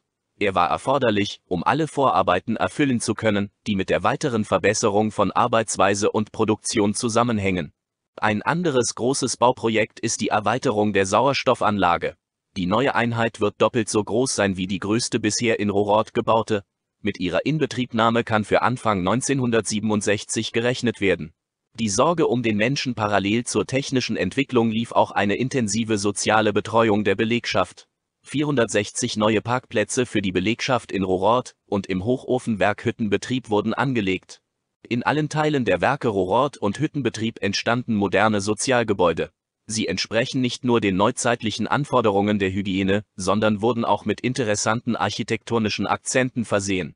Eine ganz besondere Lösung fand man an der neuen Sinteranlage auf dem Schlackenberg-Düppel. Hier wurde eine zweistöckige Waschkauer rund um den 120 Meter hohen Kamin gebaut. Siehe hierzu auch mein Video Die alte Sinteranlage. Zusätzlich zeigte man uns ein interessantes Stahlwachsbild und gab es den Titel im Elektrostahlwerk in Rohrort. Wie hier im Bild zu sehen ist hatte man im Werk Rohrort auch eine Thomas-Schlackenmühle. Das Bild zeigt das Schlackenkippen aus einer Pfanne in das Schlackenbett. Hierzu wurde ein Spezialradfahrzeug verwendet. außerdem mit der Verschmelzung von Phoenix Rheinrohr und der ATH gelangten der Schacht und die Kokerei Westende in den ATH-Bereich. Der Schacht und die Kokerei verblieben zunächst aber bei der Friedrich Thyssen Bergbau AG. Der Schacht Westende wurde Mitte 1968 stillgelegt. Die Kokerei Westende lief weiter und kam jedoch im Zuge der Gründung der Rohrkohle AG 1970 zur ATH und war nun wieder eine Hüttenkokerei. Siehe hierzu auch das Bild der Stammbaum der Zeche Westende. Während sich die hohen Herren des ATH-Vorstandes Gedanken über den weiteren Ausbau und die Erhöhung der Stahlproduktion machten, fuhren wir vergnügt Riesenrad auf der Beeker Kirmes. Die Entwicklung der Belegschaft gemäß des Stands vom 30. September 1965. Der Thyssen-Konzern hatte über 94.000 Mitarbeiter.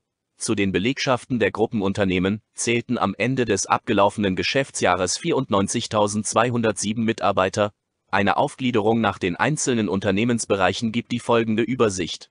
Wie man aus der Tabelle entnehmen kann, hatte die neu zum Konzern gekommene Phoenix Rhein-Rohr mit 37.013 Mitarbeitern den größten Anteil.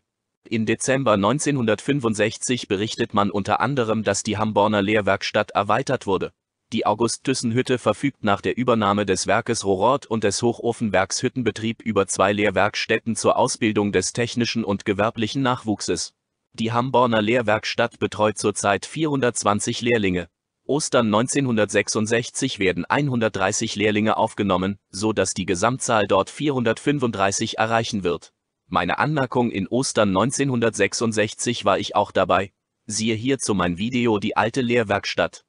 Im Februar 1966 präsentierte man die Konzernbilanz des Vorjahres der Thyssen-Gruppe und sagte dass der Bericht des Vorstandes beginnt in diesem Jahr mit der Feststellung, dass das Geschäftsjahr 1964-1965 im Ganzen gesehen unsere Erwartungen hinsichtlich Produktion, Umsatz und Ergebnis erfüllt hat Erläuternd wird hierzu im Geschäftsbericht aufgeführt, dass sich die aufsteigende Entwicklung des vorangegangenen Geschäftsjahres 1963-1964 im Berichtsjahr nicht fortgesetzt habe, sondern dass vielmehr nach einem guten ersten Halbjahr eine zunehmende Verschlechterung der Ergebnislage in der zweiten Hälfte des Berichtsjahres eingetreten sei Ungeachtet aller erschwerenden Momente, die zu dieser Verschlechterung geführt haben, ist es aber dank der hohen Auslastung der Anlagen noch gelungen, in der Thyssen-Gruppe ein Ergebnis zu erwirtschaften, das sich etwa auf der Höhe des Vorjahres hält. Hier die Grafik zeigt die Entwicklung der Roheisen, Rohstahl- und Walzstahlerzeugung der Thyssen-Gruppe von 1960 bis 1965. Die Walzstahlerzeugung stieg auf monatsdurchschnittlich 326.000 Tonnen. Die Zuwachsrate von 20 Prozent resultiert im Wesentlichen aus der starken Produktionssteigerung im Flachstahlbereich, die überwiegend mit unseren größeren Lohnwalzverpflichtungen zusammenhängt. Steigerungen ergaben sich auch bei Halbzeug zum Verkauf und bei Breitflanschträgern, während im übrigen Profilbereich die Erzeugung unverändert oder leicht rückläufig war. Man berichtete, dass im Februar 1966 in Bruckhausen das noch aus den Jahren nach dem Ersten Weltkrieg stammende Siemens-Martin-Stahlwerk II stillgelegt wurde. Zusätzlich berichtete man, dass die letzten Kamine des SM-Werkes 2 in Rohrort fielen. Über 10 Millionen Tonnen Rohstahl wurden hier in einem halben Jahrhundert erzeugt. Wer von der Bahnlinie Meiderich Süd nach Rohrort zu dem Rohrorter Werk hinüberblickte, sah bis vor kurzem neben dem Blasstahlwerk vier etwa 50 Meter hohe Kamine. Seit einigen Monaten sind sie verschwunden. Am 15. und 16. April 1966 wurden die beiden letzten gesprengt. Sie gehörten zur Generatorenanlage des Siemens-Martin-Werkes II, ein Werk, das fast auf den Tag genau 50 Jahre lang gearbeitet und in dieser Zeit rund 10 Millionen Tonnen Rohstahl erschmolzen hat. Als Kind, wenn wir mit der Eisenbahn von Rohrort Bahnhof nach Essen fuhren, war es immer ein spannender Augenblick für mich, das Stahlwerk, was damals noch in Betrieb war, zu sehen. Hier dreht sich alles um die Schiene, wie man im März 1966 berichtete. Enge Beziehungen pflegt die ATH seit Jahren zur Deutschen Bundesbahn, denn unser Werk gehört zu den bedeutendsten Schienenproduzenten der Bundesrepublik. Allein im letzten Geschäftsjahr wurden an deutsche und ausländische Bezieher nahezu 100.000 Tonnen Oberbaumaterial aller Art, vor allem schwere Schienen geliefert. Es ist also nicht verwunderlich, wenn unsere Gesellschaft häufig Herren der Bundesbahn zur Besichtigung unserer Anlagen zu Gast sieht. Vor kurzem kamen 40 Inspektorenanwärter des Bundesbahnlehrzuges Kassel nach Hamborn, um an Ort und Stelle zu erleben, wie Schienen gewalzt, geprüft und abgenommen werden. Diese jungen Männer, meist Handwerker, machen eine gründliche Ausbildung durch, bevor sie als Inspektoren bei der Bundesbahn angestellt werden. Die Bilder zeigten einige Stationen des Rundgangs, und zwar beim dem Ein- und Auslauf an der Walzenstraße. danach an der Richtmaschine. Besondere Beachtung fand die Qualitätskontrolle mit Hilfe von Ultraschall. Bei der Besichtigung des Lagers, wo gerade ein Paket Schienen abgenommen worden war, schaute man interessiert zu. Man beglückwünschte 50-jährige Jubilare wie hier in der Werkszeitung Ausgabe April 1966. Der Bundespräsident Dr. Lübcke besuchte auf seinem Rundgang am 4. Mai 1966, dem Eröffnungstag der Hannover Messe, auch die ThyssenKruppe. Das Bild zeigt den Bundespräsidenten im Gespräch mit Dr. Sohl und Dr. Mommsen. Zu den Besuchern von Haus Thyssenstahl gehörten auch Bundeskanzler Professor Erhard. Der Professor Ludwig Erhard, der Mann mit der Zigarre, der auch jahrelang Wirtschaftsminister war, war damals eine politische Kultfigur in unserer so fortschrittlichen Bundesrepublik Deutschland. Hohen Besuch hatte am 16. Mai 1966 das Werk Ruhrort. Der Arbeits- und Sozialminister des Landes Nordrhein-Westfalen, Konrad Grundmann, war mit seinem Mitarbeiterstab zugegen, als einer der drei bodenblasenden Konverter des Ruhrorter Blasstahlwerks seine letzte Charge blies. Im August 1966, Seit kurzem verfügt die ATH in Hamborn über einen Unfallwagen, der in seiner Art anderwärts noch nicht sehr häufig im Einsatz ist. Er stellt eine wichtige Ergänzung zu den bereits seit Jahren vorhandenen zwei Krankenwagen dar. Welch wahre Worte, junge Menschen erhalten in der Werkschule und den Lehrwerkstätten unserer Hütte eine gute fachliche Ausbildung. Das gezeigte Bild war hier die Titelseite der Werkszeitung Ausgabe September 1966. Ein weiteres Bild zeigte uns, die neuen Lehrlinge aus dem Jahrgang April 1966 nahe am Siemens Martin Stahlwerk 1. Im November 1966 berichtete man über den modernisierten Rohrorter Hochofen 7 und sagte folgendes den zukünftigen vordringlichen Forderungen nach geringeren Kosten und einer gleichmäßigen Güte des erzeugten Roheisens können nur Hochöfen gerecht werden, die mit ihren Einrichtungen einen niedrigen spezifischen Koksverbrauch, hohe Ofenleistungen und einen weitgehend störungsfreien Ofenbetrieb gewährleisten. Diesen drei Zielen galt auch das Hauptaugenmerk bei den Überlegungen für den Umbau des Hochofens 7 in unserem Werk Rohrort. Ein Blick in die zentrale Messwarte, von hier aus erfolgt die Überwachung des Hochofens 7. Die Anzeigetafel im Bild links unten in der zentralen Messwarte gibt einen Überblick über die Möllerung und Begichtung von Hochofen 7. Rechts unten im Bild. Von diesem Raum aus wird mit Hilfe eines Elektronenrechners der Hochofenprozess gesteuert. Die Zeichnung zeigt den Querschnitt durch den oberen Teil des Hochofens mit der Gicht. Durch einen Gichtverschluss mit doppelter Glocke und Trichterdrehwerk wird der Möller in den Hochofenschacht geschüttet. Eine Messsonde, im unteren Teil der Zeichnung, misst Zusammensetzung und Temperatur der Hochofengase. Nach ihren Ergebnissen kann man den Durchmesser des beweglichen Schlackenpanzers verändern. Max ging im Oktober 1966 in Pension. Das letzte Pferd in der Eisen- und Stahlindustrie frisst jetzt sein Gnadenbrot. Jetzt ist es mit der vielgerühmten guten alten Zeit endgültig vorbei. Ein gewichtiges Kopfnicken scheint diese Feststellung zu unterstreichen. Anlass für diesen wie ein Gemeinplatz klingenden Satz war ein etwas ungewöhnliches Interview mit einem Pensionär unseres Werkes Hüttenbetrieb. Allerdings erhält er keine Pension im landläufigen Sinne. In seiner Sprache heißt es Gnadenbrot. Ein buntes Bild aus der Werkszeitung November 1966. Abschluss der 250-Jahr-Feier der Duisburger Häfen war ein großes Feuerwerk, das an der Rohrmündung vor der Rohrorthomberger Brücke abgebrannt wurde. Auch das Kraftwerk Rohrort der ATH erstrahlte dabei in hellem Licht. Im Heft Dezember 1966 informierte uns man, dass in 75 Jahren 90 Millionen Tonnen Stahl bei der ATH erzeugt wurden. Es war das 75-jährige Bestehen der Hütte, und man zeigte uns August Thyssen und sein Werk. In den 75 Jahren seit der Erschmelzung der ersten Charge Rohstahl am 17. Dezember 1891 hat die August Thyssen Hütte in Hamborn insgesamt rund 90 Millionen Tonnen Rohstahl erzeugt. Die Stahlerzeugung stoppte nach dem Zweiten Weltkrieg, es war ein steiler Anstieg der Stahlproduktion nach der Wiederaufnahme der Produktion in 1951. Hier ein Blick auf zwei Bildern von August Thyssen und in sein Arbeitszimmer auf Schloss Landsberg. An der Wand das von Professor Samberger geschaffene Porträt Thyssens. Am 4. April 1926, am Morgen des Ostertages, schloss August Thyssen auf Landsberg die Augen für immer. August Thyssen starb kurz vor seinem 84. Geburtstag. Die hier eingefügte Karte zeigt den großen Felderbesitz von August Thyssen am Niederrhein aus dem Jahr 1913. Am 21. Juli 1924 begleitete August Thyssen auf seiner letzten Grobenfahrt, er war bereits über 82 Jahre alt, den damaligen Kölner Oberbürgermeister und Präsidenten des preußischen Staatsrats Konrad Adenauer, als dieser mit seiner Frau die Schachtanlage Lohberg besuchte, unter Tage. Das Bild zeigt, sitzend von links, August Thyssen, Frau Adenauer, Konrad Adenauer, Direktor Lenze, stehend Direktor Mommerz und, links, Direktor Gibbels. Durch dieses alte Tor 1 der Hütte an der Kaiser-Wilhelm-Straße ging die Belegschaft bis 1962 ins Werk. Hier ist, wie ich meine, ein interessanter historischer Bildervergleich mit dem Blick aus Beek auf die Hütte um das Jahr 1920 und aus dem Jahr 1965. Der letztere Blick aus 1965 war mir bestens bekannt. Die Entwicklung der Hochöfen. Die Hochöfen 1 und 3 in Bruckhausen wurden in den Jahren 1897 bis 1898 angeblasen. Die erste Aufnahme, die aus der Zeit vor der Jahrhundertwende stammt, zeigt deutlich die alte Form der Hochbahn, auf der Erz und Zuschläge vom Hafen Alsum sowie Koks herangebracht wurde. Die Bahn stand auf mächtigen Betonklötzen. Damals besaßen die Öfen, wie das zweite Bild hier zeigt, lediglich Vertikalaufzüge. Ende des ersten Jahrzehnts begann man, die Hochöfen mit Schrägaufzügen zu versehen. Auf dem Bild ist Hochofen 1, ganz links, bereits ganz umgebaut. Der rechte Hochofen, der als größter deutscher Hochofen eine Tagesdurchschnittsleistung von fast 650 Tonnen erzielte, war 1912 noch im Bau. Das anschließende schöne Bild hier zeigt die sieben Hochöfen aus dem Jahre 1924, inzwischen sämtlich mit Schrägaufzügen versehen. Auch das Aussehen der Hochbahn hat sich total geändert. Das erste Hauptbüro der Gewerkschaft Deutscher Kaiser wurde in einer alten evangelischen Volksschule in der Nähe der Thyssenbrücke eingerichtet.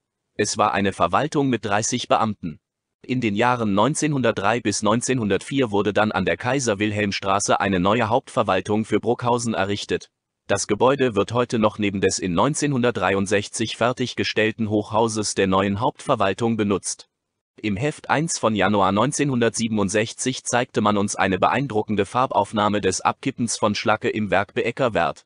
Zu dieser Zeit war natürlich die alte Thomas-Schlackenmühle noch im Betrieb. Im Januar 1967 sagt man uns, dass hier 4 Millionen Wäschestücke jährlich gereinigt werden. Die Außenansicht der Wäscherei.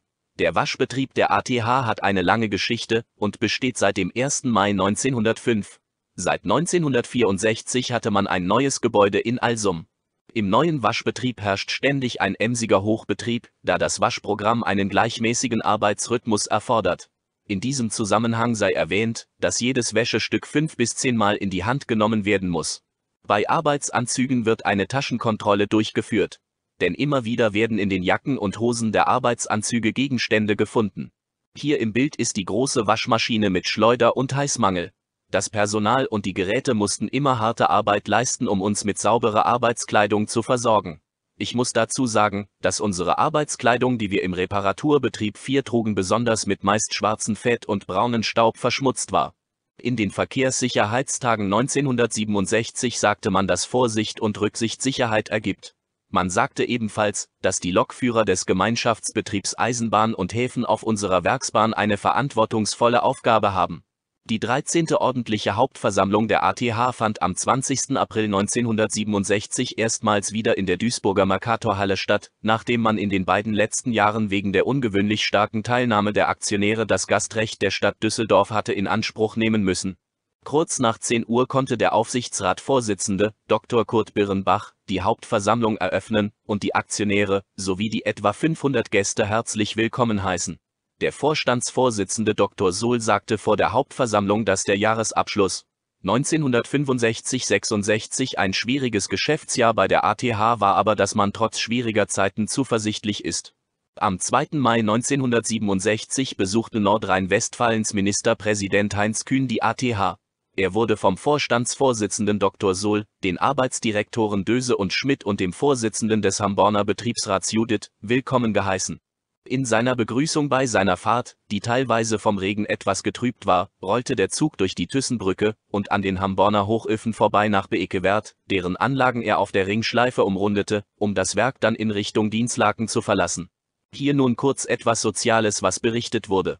Mit dem Reisebus Weltenbummler fuhren 21 Hamborner Hüttenmänner, teilweise auch von ihren Ehefrauen und Kindern begleitet, am 8. Mai 1967 zur ersten diesjährigen Erholung in den Schwarzwald, diese seit zehn Jahren von der Sozialabteilung der drei Hamborner Werke durchgeführte Aktion hat seit 1965 Oberammersbach im Schwarzwald zum Ziel.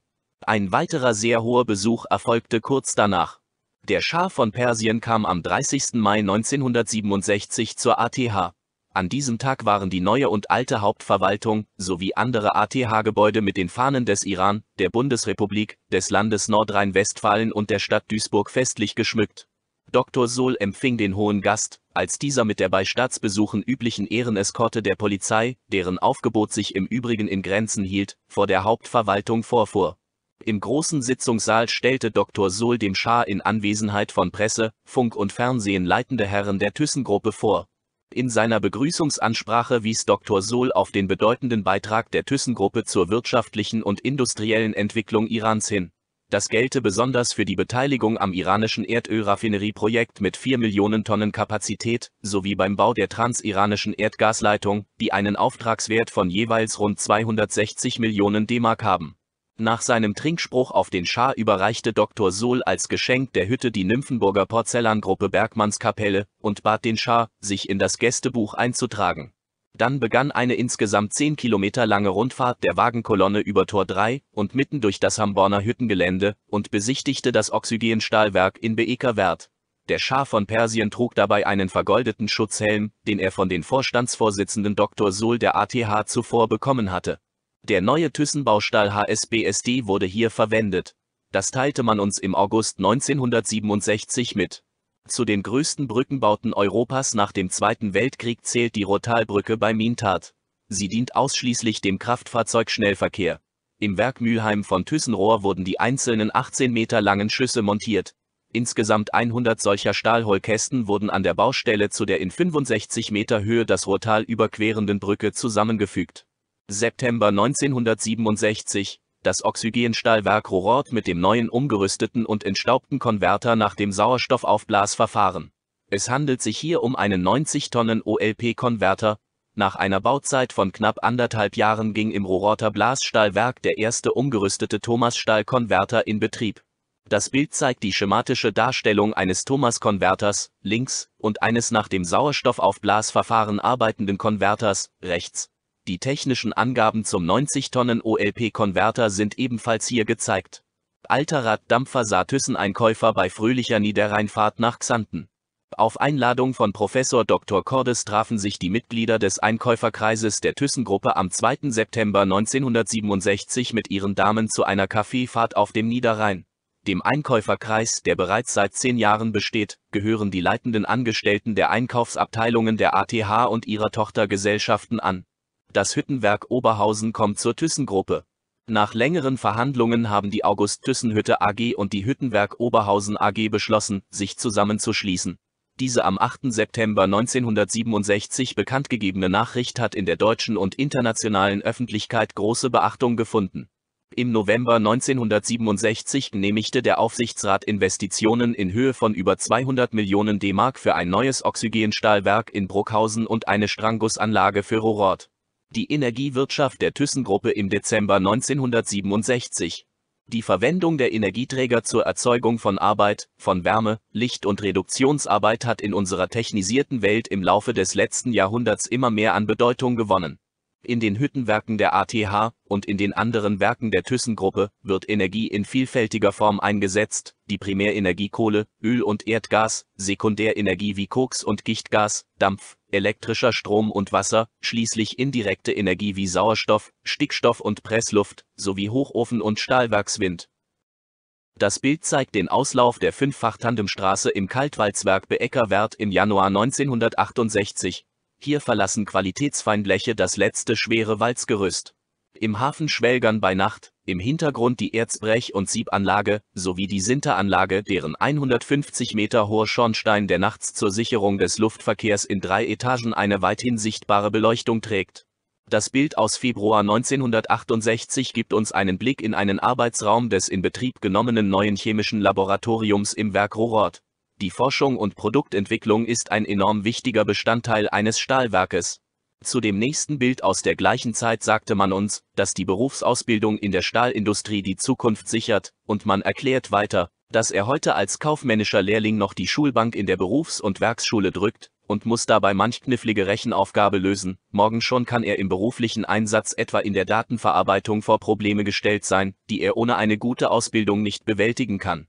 Die Werksanlagen in Beeckerwert wurden um eine neue Kokillenhalle erweitert, die neben der Tiefofenanlage liegt.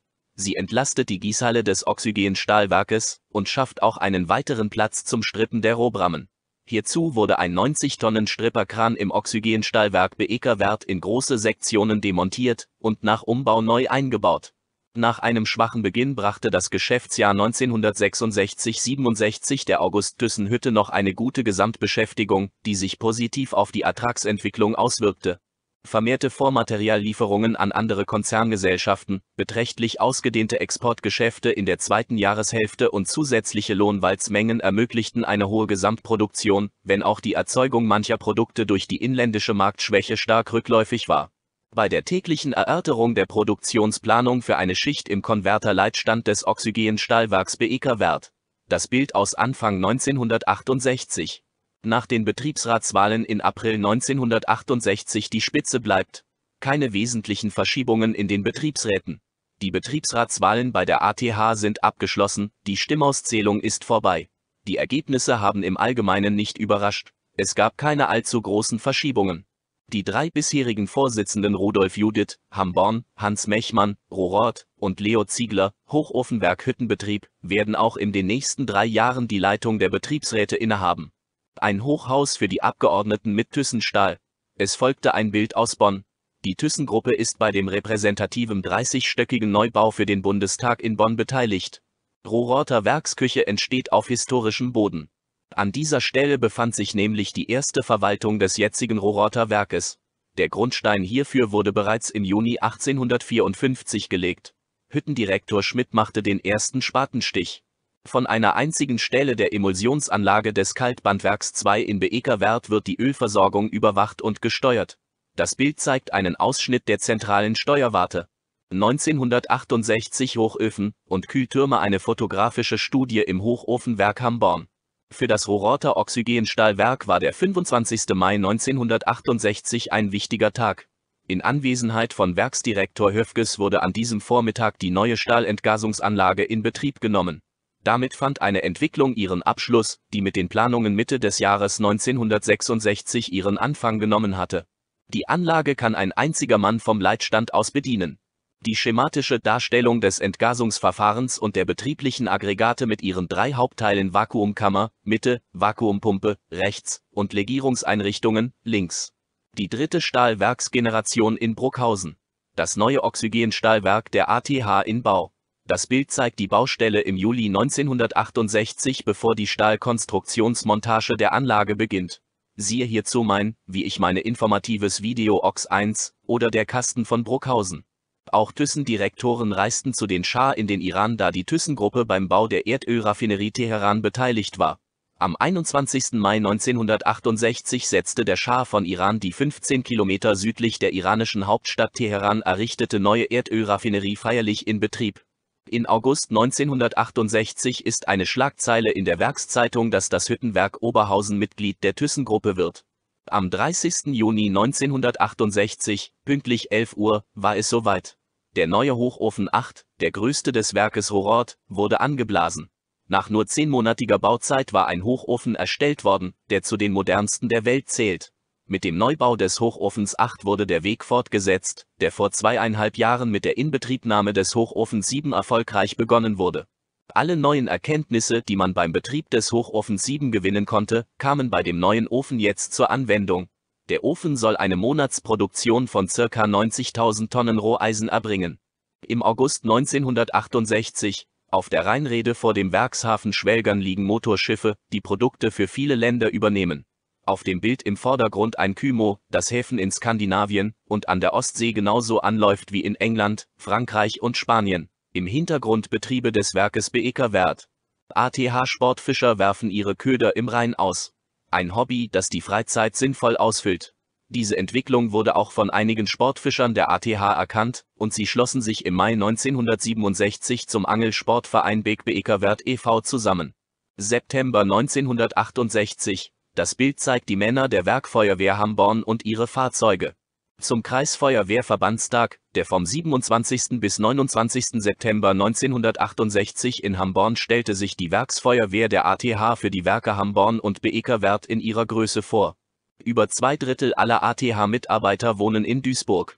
Sieben von zehn Mitarbeitern der ATH, die in den Hamborner Werken und im Werk Rohrort arbeiten, wohnen auch in Hamborn, Rohrort und Meiderich oder einem anderen dem Werk benachbarten Duisburger Stadtteil. Das ist eines von zahlreichen interessanten Ergebnissen einer repräsentativen Befragung, die das Amt für Statistik und Wahlen der Stadt Duisburg im September 1967 über den täglichen Arbeitsweg der Belegschaften von zehn ausgewählten Duisburger Großbetrieben durchführte. In September 1968 wurde gemeldet, dass die ATH bisher 25 Millionen Tonnen Warmbreitband produzierte. Die beiden Warmbreitbandstraßen der ATH haben bis Ende August 1968 insgesamt 25 Millionen Tonnen Warmbreitband produziert.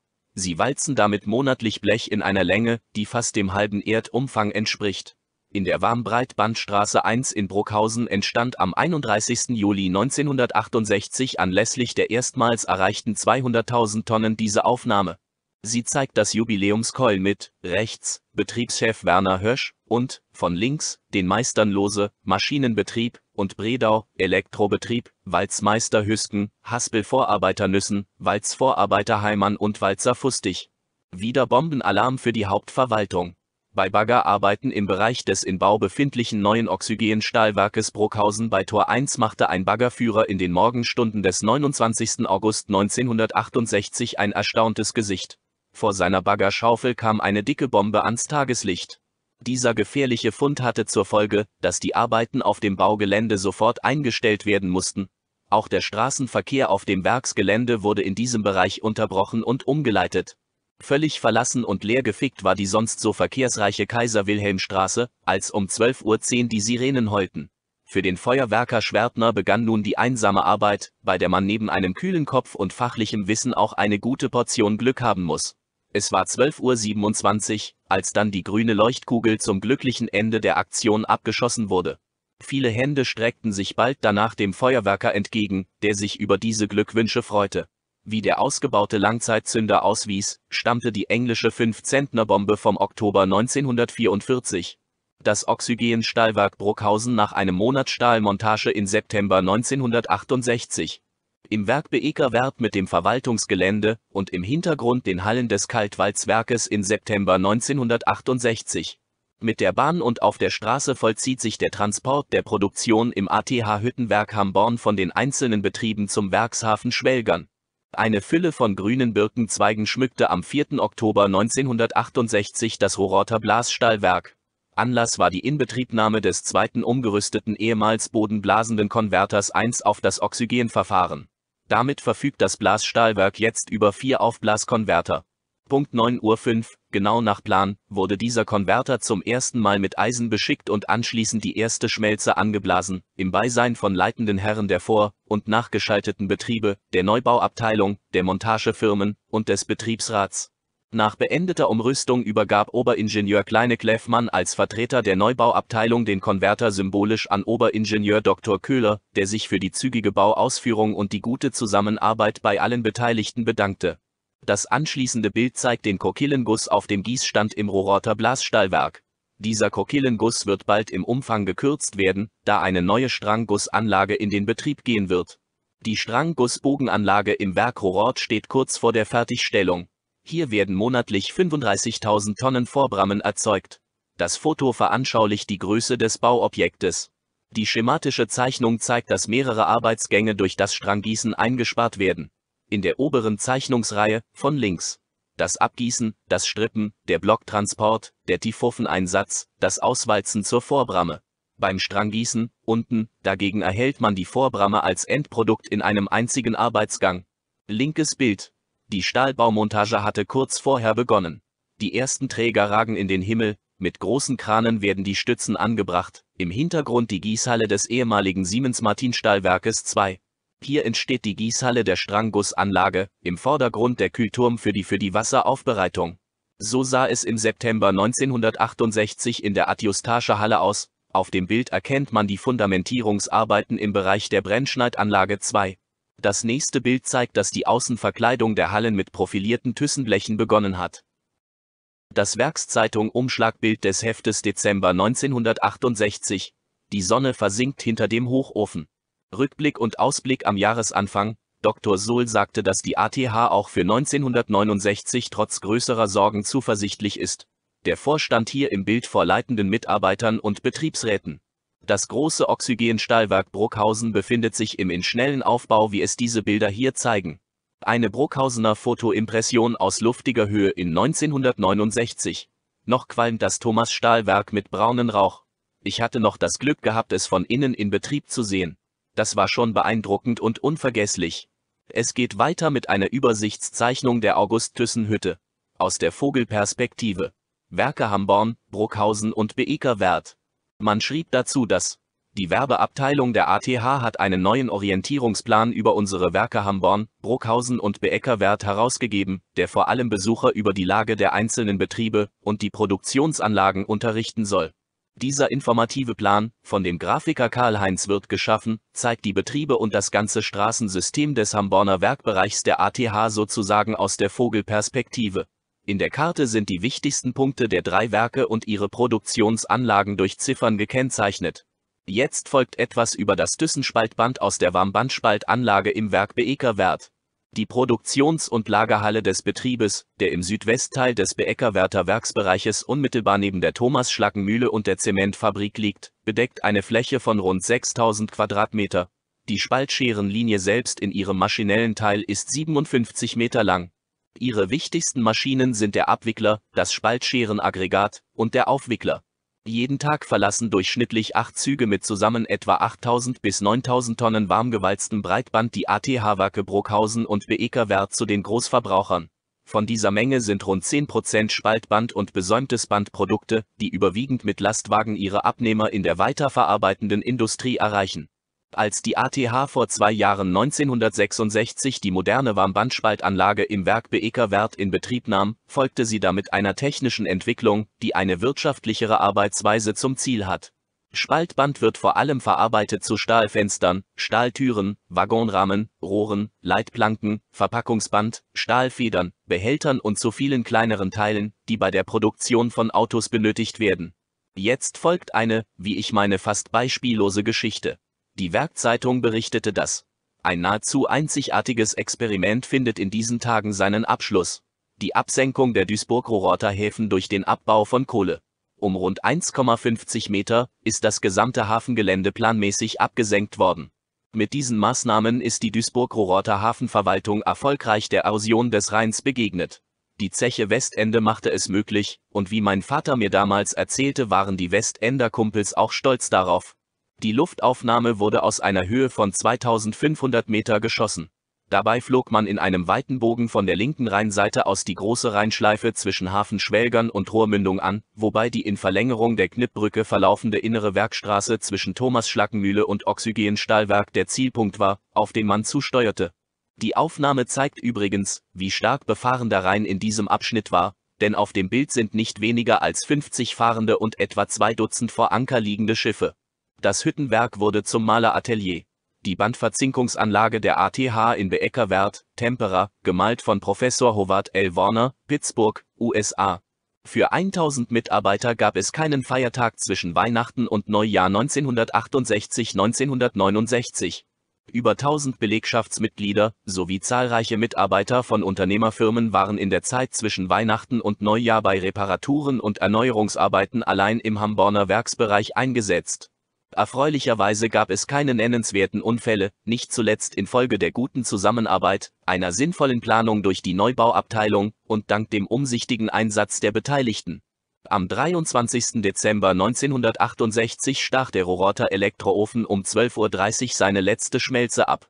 Am 1. März 1957 war die erste Charge erschmolzen worden in den knapp zwölf Jahren seiner Betriebszeit wurden im Elektrostahlwerk insgesamt 336.400 Tonnen Elektrostahl produziert.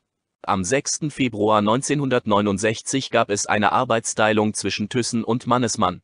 Die Thyssen-Gruppe und die Mannesmann-Gruppe haben zur Stärkung und Sicherung ihrer internationalen Wettbewerbsfähigkeit eine Arbeitsteilung vorgesehen die Röhrenwerke beider selbstständigen Konzerne sollen in einer neuen Gesellschaft, der Mannesmann Röhrenwerke AG, zusammengefasst werden, an der die ATH mit einem Drittel der Anteile beteiligt sein wird.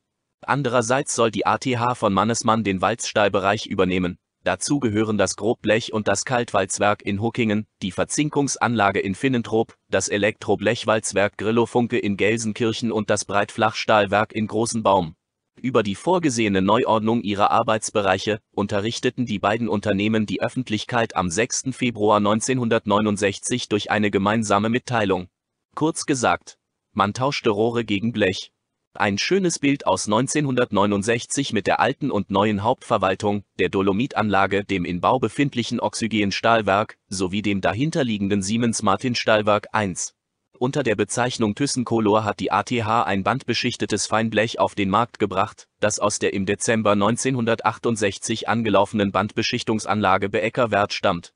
Das farbig beschichtete Feinblech wird in Rollen und Tafeln geliefert und bildet eine sinnvolle Ergänzung der Produktionspalette an kaltgewalztem sowie an Senzimir und elektrolytisch verzinktem Feinblech.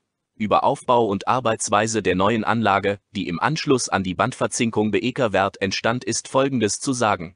Die Bleche werden gegen Korrosion geschützt. Um Kosten zu sparen erfolgt das Beschichten von Metallbändern im kontinuierlichen Verfahren. Verschiedene Beschichtungsmaterialien kaltgewalzte, verzinkte und verzinte Bänder sowie Aluminium können im kontinuierlichen Verfahren mit Kunstharzeinbrennlacken, PVC oder Folien beschichtet werden. Colts bis 11 Tonnen Gewicht werden verarbeitet.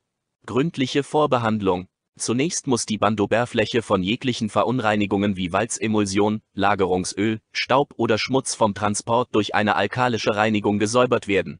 Zwei Beschichtungsmaschine, der chemischen Vorbehandlung folgt der eigentliche Behandlungsteil mit zwei übereinander angeordneten Beschichtungsebenen.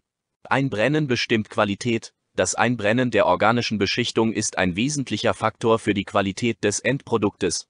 Beim Eintritt in den Trockner hat sich die feuchte Lackschicht des Bandes auf dem Wege von der Beschichtungsmaschine zum Trockner gespannt. Im Auslauf auch Spalten möglich, er besteht in der jetzigen ersten Ausbaustufe der Anlage aus dem Auslaufschlingenturm, einer hydraulischen Schere und zwei Aufwicklern. Umfangreiches Lager an Lacken, da die Beschichtungsmaterialien wegen der teilweise großen Anteile an Lösungsmitteln feuergefährlich sind, hat man sich entschlossen, das Lacklager etwa 100 Meter von der Anlage entfernt aufzubauen. Qualität führt zum Ziel. Der ATH-Vorstand sagte im April 1969 dazu. Liebe Mitarbeiter, Sicher ist Ihnen das neue Zeichen Q aufgefallen, das dieser Tage in den Betrieben angebracht worden ist. Q steht für Qualität, und das Zeichen soll besagen. Qualität führt zum Ziel. Sie wissen, dass die Ansprüche an den Stahl heute überall sehr hoch sind. Der wirtschaftliche Erfolg unserer Unternehmensgruppe hängt somit immer mehr von unserer Zuverlässigkeit und von der einwandfreien, gleichmäßigen Qualität unserer Erzeugnisse ab. Thyssen Qualität hat in der Welt einen guten Namen. Das soll in unser aller Interesse auch künftig so bleiben. Denn die Zufriedenheit unserer Kunden schafft Sicherheit für die rund 100.000 Arbeitsplätze in unserer Unternehmensgruppe. An diesem Ziel kann und soll jeder verantwortlich mitwirken, denn es kommt dabei auf jeden Einzelnen an. Nur durch die gemeinsame Arbeit aller ist Thyssen Qualität der Gütebegriff, der uns den Erfolg sichert. Im Mai 1969 berichtete man von Vorschlägen, verbessern, verhüten. Vorschläge brachten Verbesserungen und den Einsendern Dank und Belohnung. 24 Verbesserungsvorschläge von Mitarbeitern der Werke Bruckhausen, Beeker Wert und Hochofenwerk Hamborn wurden im Anschluss an die letzte Sitzung des Hamborner Bewertungsausschusses mit Prämien ausgezeichnet. Hüttendirektor Dr. Brandi empfing 22 erfolgreiche Belegschaftsmitglieder in der 10. Etage der Hauptverwaltung und überreichte ihnen die Prämien, deren Beträge zwischen 50 und 1600 Mark lagen weitere große Investitionen bei der ATH auch für die nächsten Jahre geplant. Die 1300 Aktionäre, die sich zur 15. ordentlichen Hauptversammlung der August-Thyssen-Hütte AG am 29. April 1969 in der Duisburger Mercator-Halle eingefunden hatten, billigten fast einstimmig die Vorschläge, die ihnen seitens des Vorstandes zur Beschlussfassung vorgelegt wurden Dabei teilte Dr. Brandi unter anderem mit, dass die ATH bei ihrer Rohstahlproduktion den Anteil an Oxygenstahl von gegenwärtig 45 Prozent der Erzeugung im Laufe der nächsten beiden Jahre auf 80 Prozent erhöhen werde. Um dem erhöhten Bedarf an Roheisen gerecht zu werden, sei gegenwärtig in Schwelgern eine der größten Sinteranlagen der Welt in Bau. Die ATH stände außerdem kurz vor der Entscheidung über den Bau von Großhochöfen im gleichen Werksbereich unmittelbar am Rhein. Man hoffe, dadurch mit der technischen Entwicklung in der Welt Schritt halten zu können. Dazu gehöre auch eine Erweiterung der Kokereikapazität, die der Aufsichtsrat bereits im Herbst letzten Jahres genehmigt habe. Neue Waschkaue für 798 Mitarbeiter der Kokerei August Thyssen. Nach alter bergmännischer Tradition ist diese Kaue, die 798 Belegschaftsmitgliedern Platz bietet, in einen Schwarzteil und in einen Weißteil unterteilt. Beide Teile umfassen 710 Quadratmeter. Zwischen dem Schwarzteil und dem Weißteil liegt der Brausetrakt. Außerdem sind Räume für Vorarbeiter, Versehrte und Jugendliche eingerichtet. Während im Schwarzteil Kleideraufzüge installiert sind, wird Straßenkleidung im Weißteil der Waschgau in Einzelschränken aufbewahrt bei der Einweihung am 2. Mai 1969 die Vorstandsmitglieder der Hamborner Bergbau AG, Dr. Bazai und Poll, im Vordergrund zweiter bzw. vierter von rechts, zwischen beiden der Betriebsführer der Kokerei, Diplom-Ingenieur Benz, ganz links Kokereidirektor Brömmel, im Hintergrund links, halb verdeckt, Kokereichef Diplom-Ingenieur Stefan. Das Bild zeigt, Anstelle eines abgerissenen hölzernen Kühlturms entsteht inzwischen ein moderner Neubau unmittelbar neben dem Waschgauengebäude. Mitte 1969 wurde uns berichtet, dass die Rororter Strangussanlage ihre Leistung gleichmäßig steigert. Eine Monatsproduktion von 30.000 Tonnen nach halbjährigem Betrieb bereits erreicht. Von diesem Steuerpult aus erfolgt die Steuerung des Treibers, der die Stranggießbramme ausfördert. Von hier aus wird auch der Kaltstrang vom Warmstrang gelöst. Am 30. Juni 1969 wurde der Arbeitsdirektor Kurt Döse 50 Jahre alt. Ich hatte die Ehre im September 1976 mit dem freundlichen und aufmerksam zuhörenden Arbeitsdirektor in seinem Büro in der Bruckhausener Hauptverwaltung zu sprechen. Kurt Döse ist am 16. Februar 2009 verstorben. Damit hatte sich der letzte des alten ehemaligen ATH-Vorstandes aus den 60er Jahren von dieser Welt verabschiedet. Rohrorter Belegschaft hat jetzt ein eigenes Casino am 19. August 1969 der Bestimmung übergeben. Über 70 Firmen waren am Bau beteiligt. Das neue Belegschaftscasino von außen, Ansicht von der Friedrich-Ebert-Straße nahe am Rohrorter Bahnhof. Das Bild links zeigt, wie das erste Essen ausgegeben wird. Im Bild rechts sieht man, wie es im Speisesaal aussieht. Der 19. August 1969 war ein Dienstag und unsere Kollegen ließen sich das Essen gut schmecken. Die größten Thomas-Konverter der Welt im Werk Rohrort blasen nicht mehr. Am 31. Juli 1969 wurde im Werk Rohrort die letzte Thomas-Charge erblasen. Damit nahm ein bedeutsames Kapitel Stahlgeschichte sein Ende, das dort vor fast genau 90 Jahren, am 22. September 1879, begonnen hatte. Damals wurde in unmittelbarer Nähe des jetzigen Stahlwerks zum ersten Male auf dem europäischen Kontinent Stahl nach dem neuen Thomas-Verfahren erzeugt. Mit der Stilllegung des letzten Thomas-Konverters ist in Rohrort die Produktion von Thomas-Stahl endgültig eingestellt worden. Ein Jahr unter ATH-Betriebsführung. Seit der Übernahme der Betriebsführung des Kraftwerkes Hamborn durch die ATH am 1. Oktober 1968 konnten die Energiewirtschaft der Hütte noch weiter rationalisiert und gleichzeitig auch die Überlegungen, die einst zum Bau des Kraftwerkes führten, verwirklicht werden. Der erste Bauabschnitt des Kraftwerkes Hamborn ist als Sammelschienenwerk angeordnet. Es besteht aus zwei Kesseln mit einer Dampfleistung von 125 und 155 Tonnen je Stunde, bei einem zulässigen Dampfdruck von 83 Atü und einer Temperatur von 500 Grad Celsius. In den Generatoren zweier Turbinengruppen ist eine elektrische Leistung von je 32 Megawatt installiert. Der erzeugte Strom wird über Transformatoren sowie Schaltverteilungsanlagen den Verbrauchern zugeleitet durch das weitere Ansteigen des Angebots an Gichtgas bei der ATH ergab sich vor wenigen Jahren die Notwendigkeit, auch den letzten, bisher nur mit Kohle betriebenen Kessel des Kraftwerkes auf Mitverfeuerung von Gichtgas umzustellen. Dieser Umbau erfolgte 1967 unter Nutzung der bisherigen Betriebserfahrungen und mit Einsatz der modernsten technischen Geräte das Blockwerk als zweiter Bauabschnitt umfasst einen Kessel mit einer Dampfleistung von 220 Tonnen je Stunde bei einem Konzessionsdampfdruck von 185 Atü und einer Temperatur von 530 Grad Celsius und einer Maschinengruppe mit einer Generatorenleistung von 64 Megawatt.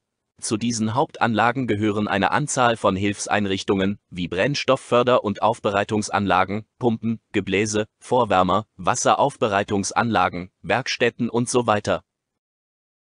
In Oktober 1969 wurde auf dem Titelbild der Werkszeitung ein Auto mit einer schönen jungen Frau gezeigt, und man schrieb dazu, aus Edelstahl der deutschen Edelstahlwerke ist die Karosserie dieses BMW 2800 CS, die Attraktion des Thyssen-Standes auf der internationalen Automobilausstellung in Frankfurt.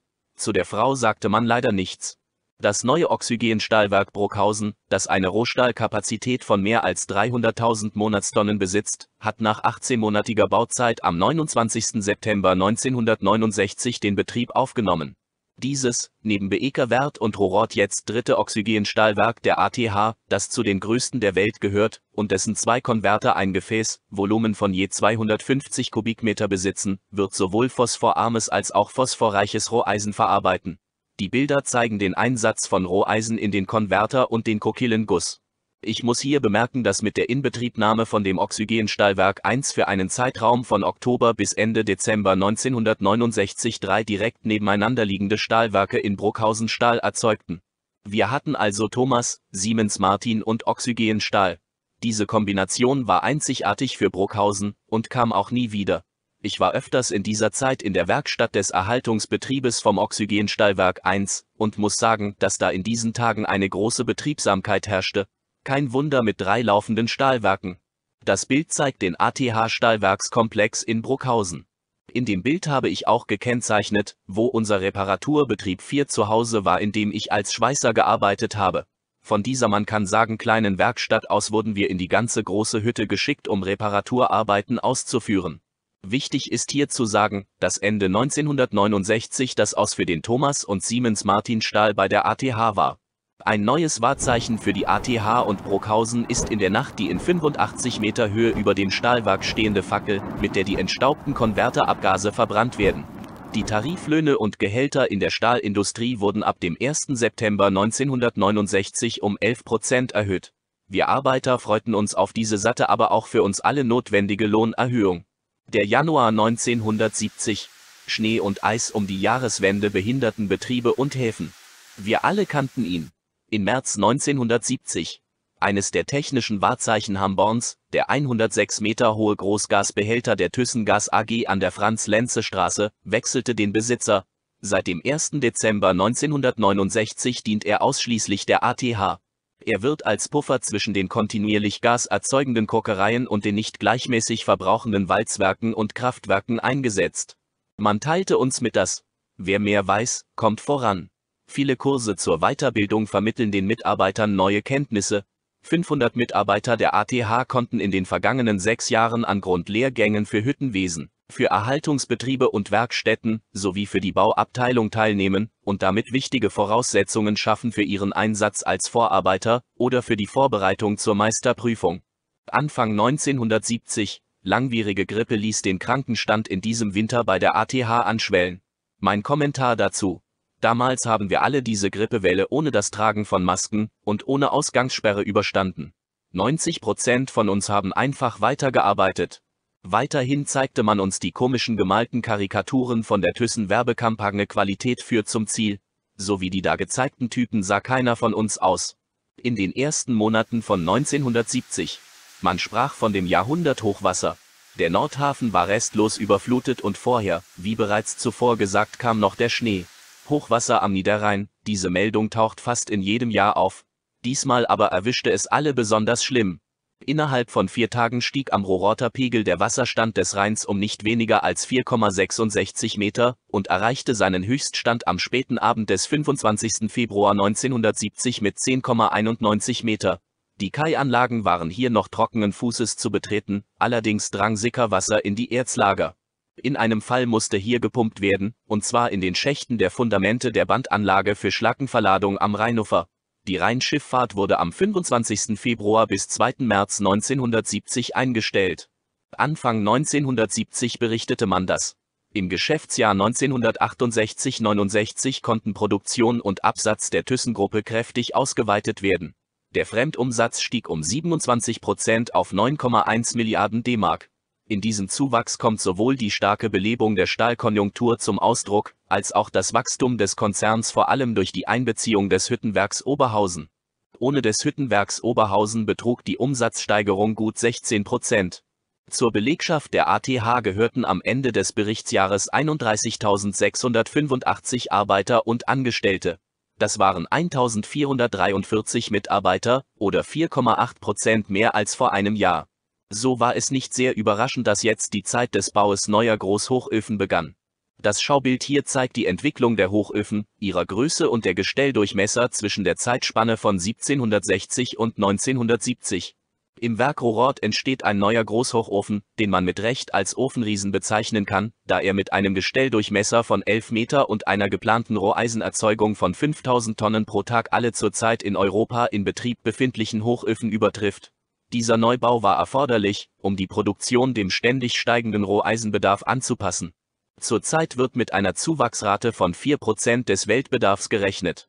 Man zeigte uns den Bau vom Europort und schrieb, in der Erzumschlaganlage Rotterdam Europort münden die Erzstraßen der Welt. Das nächste Bild aus 1970 hatte den Titel In der Erzumschlaganlage im Hafen Schwelgern.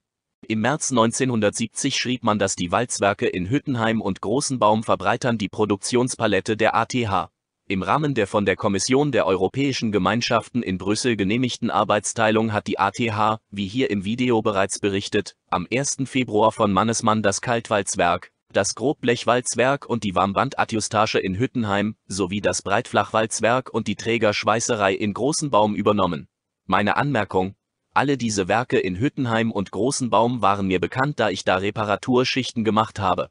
Mitarbeiter der ThyssenGruppe aus zahlreichen Ländern der Erde trafen sich Ende April 1970 zum dritten Mal beim Thyssen-Auslandstag in Düsseldorf, diese im wahrsten Sinne des Wortes globale Zusammenkunft zeigte deutlich die engen Beziehungen der ThyssenGruppe zu den internationalen Märkten. Der Staatspräsident von Liberia besichtigte die ATH. Am 2. Juni 1970 besuchte der Staatspräsident von Liberia, Dr. Tubman, die August-Thyssen-Hütte in Hamborn. Während seines zwölftägigen Besuches in der Bundesrepublik Deutschland weilte der liberianische Staatspräsident damit zum zweiten Male in Duisburg. Mit einem Schiff hatte der liberianische Staatspräsident die Reise von Liberia nach Deutschland gemacht. Es war das Motorschiff Susanne Schulte, das Erz von Liberia nach Bremen brachte. Zwischen der ThyssenGruppe und Liberia bestehen seit vielen Jahren enge wirtschaftliche Beziehungen. Liberianische Erze haben einen bedeutenden Anteil an der Roheisengewinnung der ATH. Seit über einem Jahrzehnt ist die ThyssenGruppe mit 37,5 Prozent an der Delimco beteiligt, die über die Bong-Bergbau den Erzabbau in der Grube Bong-Rensch betreibt. Von 1965 bis 1969 betrug die Produktion dieses deutsch-liberianischen Unternehmens 16,8 Millionen Tonnen Erzkonzentrat. Die ATH importierte im gleichen Zeitraum 5,7 Millionen Tonnen Erzkonzentrat aus dieser Grube. In der Mitte von 1970 informierte man uns, dass Europas höchster Kamin für neue Sinteranlage 3 in Schwelgern gebaut wird. Am Hafen Schwelgern errichtet die ATH unmittelbar neben der Erzbrech- und Siebanlage und der Sinteranlage 2 im Zusammenhang mit dem dort geplanten Bau von Großhochöfen eine weitere Sinteranlage. Ihr erster Bauabschnitt ist der Kamin, der direkt neben dem 150 Meter hohen Kamin der bereits vorhandenen Sinteranlage erbaut wurde. Mit 250 Meter Höhe zählt dieses Bauwerk zu den drei höchsten Kaminen Europas und gibt der Hamborner Industriekulisse am Rhein einen neuen Akzent. Ein denkwürdiger Tag wird dieser 31. Juli 1970 in der Geschichte der ATH bleiben. Nach 80 Jahren ihres Bestehens stellte die Steinfabrik ihre Produktion ein. Zentralisierung gab den Anstoß zur Stilllegung der Steinfabrik. Der künftige Bedarf an feuerfestem Material wird nun in der Hauptsache von einer Konzerngesellschaft für feuerfeste Erzeugnisse geliefert. Das Bild rechts. An dieser Strangpresse wurde das Material für die Stopfenstangenrohre gepresst. Am 31. Juli 1970 erkalteten die Öfen. Der älteste ATH-Betrieb, die Steinfabrik, stellte ihre Produktion ein. Dieser Zeitpunkt war seit einigen Monaten sorgfältig vorbereitet, um unter anderem soziale Härten bei der 120 Mann starken Belegschaft zu vermeiden. Diese Arbeitskräfte werden von anderen Betrieben im Hamborn übernommen. Am 16. Juli 1970 wurde der neue Großhochofen 6 des Werkes Horort angeblasen. Eineinhalb Jahre nach Bewilligung des Großprojektes durch den Aufsichtsrat steht jetzt der ATH der derzeit größte mit seinen 11 Metern Gestelldurchmesser und auch der modernste Hochofen Europas zur Verfügung. Mit dem Neubau dieses Großhochofens wurde der Weg fortgesetzt, der mit der Inbetriebnahme von Hochofen 7 vor fünf Jahren und mit Hochofen 8 vor zwei Jahren erfolgreich begonnen wurde. Der Hochofen 6 wurde nach dem neuesten Stand der Technik und unter Berücksichtigung der Erfahrungen an Hochofen 7 und 8 gebaut. Der neue Hochofen 6 steht fast an der gleichen Stelle, an der zu Anfang der 20er Jahre der alte Ofen 6 gebaut worden war. Mit seiner geplanten Produktion von 5000 Tagestonnen erzeugt er weit mehr als die beiden alten Rohrotteröfen 1 und 3, die zusammen eine Tagesleistung von 1900 Tonnen hatten. Also Hitze kannten wir schon 1970, als man schrieb. Schweißproduktion steigt, Hitze und Schwüle im Sommer drücken auf die Leistungsfähigkeit. Für die Stahlwerke der ATH lieferten die Hüttenwerke Oberhausen im Verlauf von drei Jahren zwei Millionen Tonnen Roheisen. Die Jubiläumslieferung rollte am Donnerstag, den 30. Juli 1970, vom Hochofenwerk in Oberhausen zum Oxygenstahlwerk der ATH in Beeckerwert. Heute hatten wir überall freie Fahrt und kamen so ohne Aufenthalt bis Beeckerwert, meinte Hohak-Lokführer Lohmann.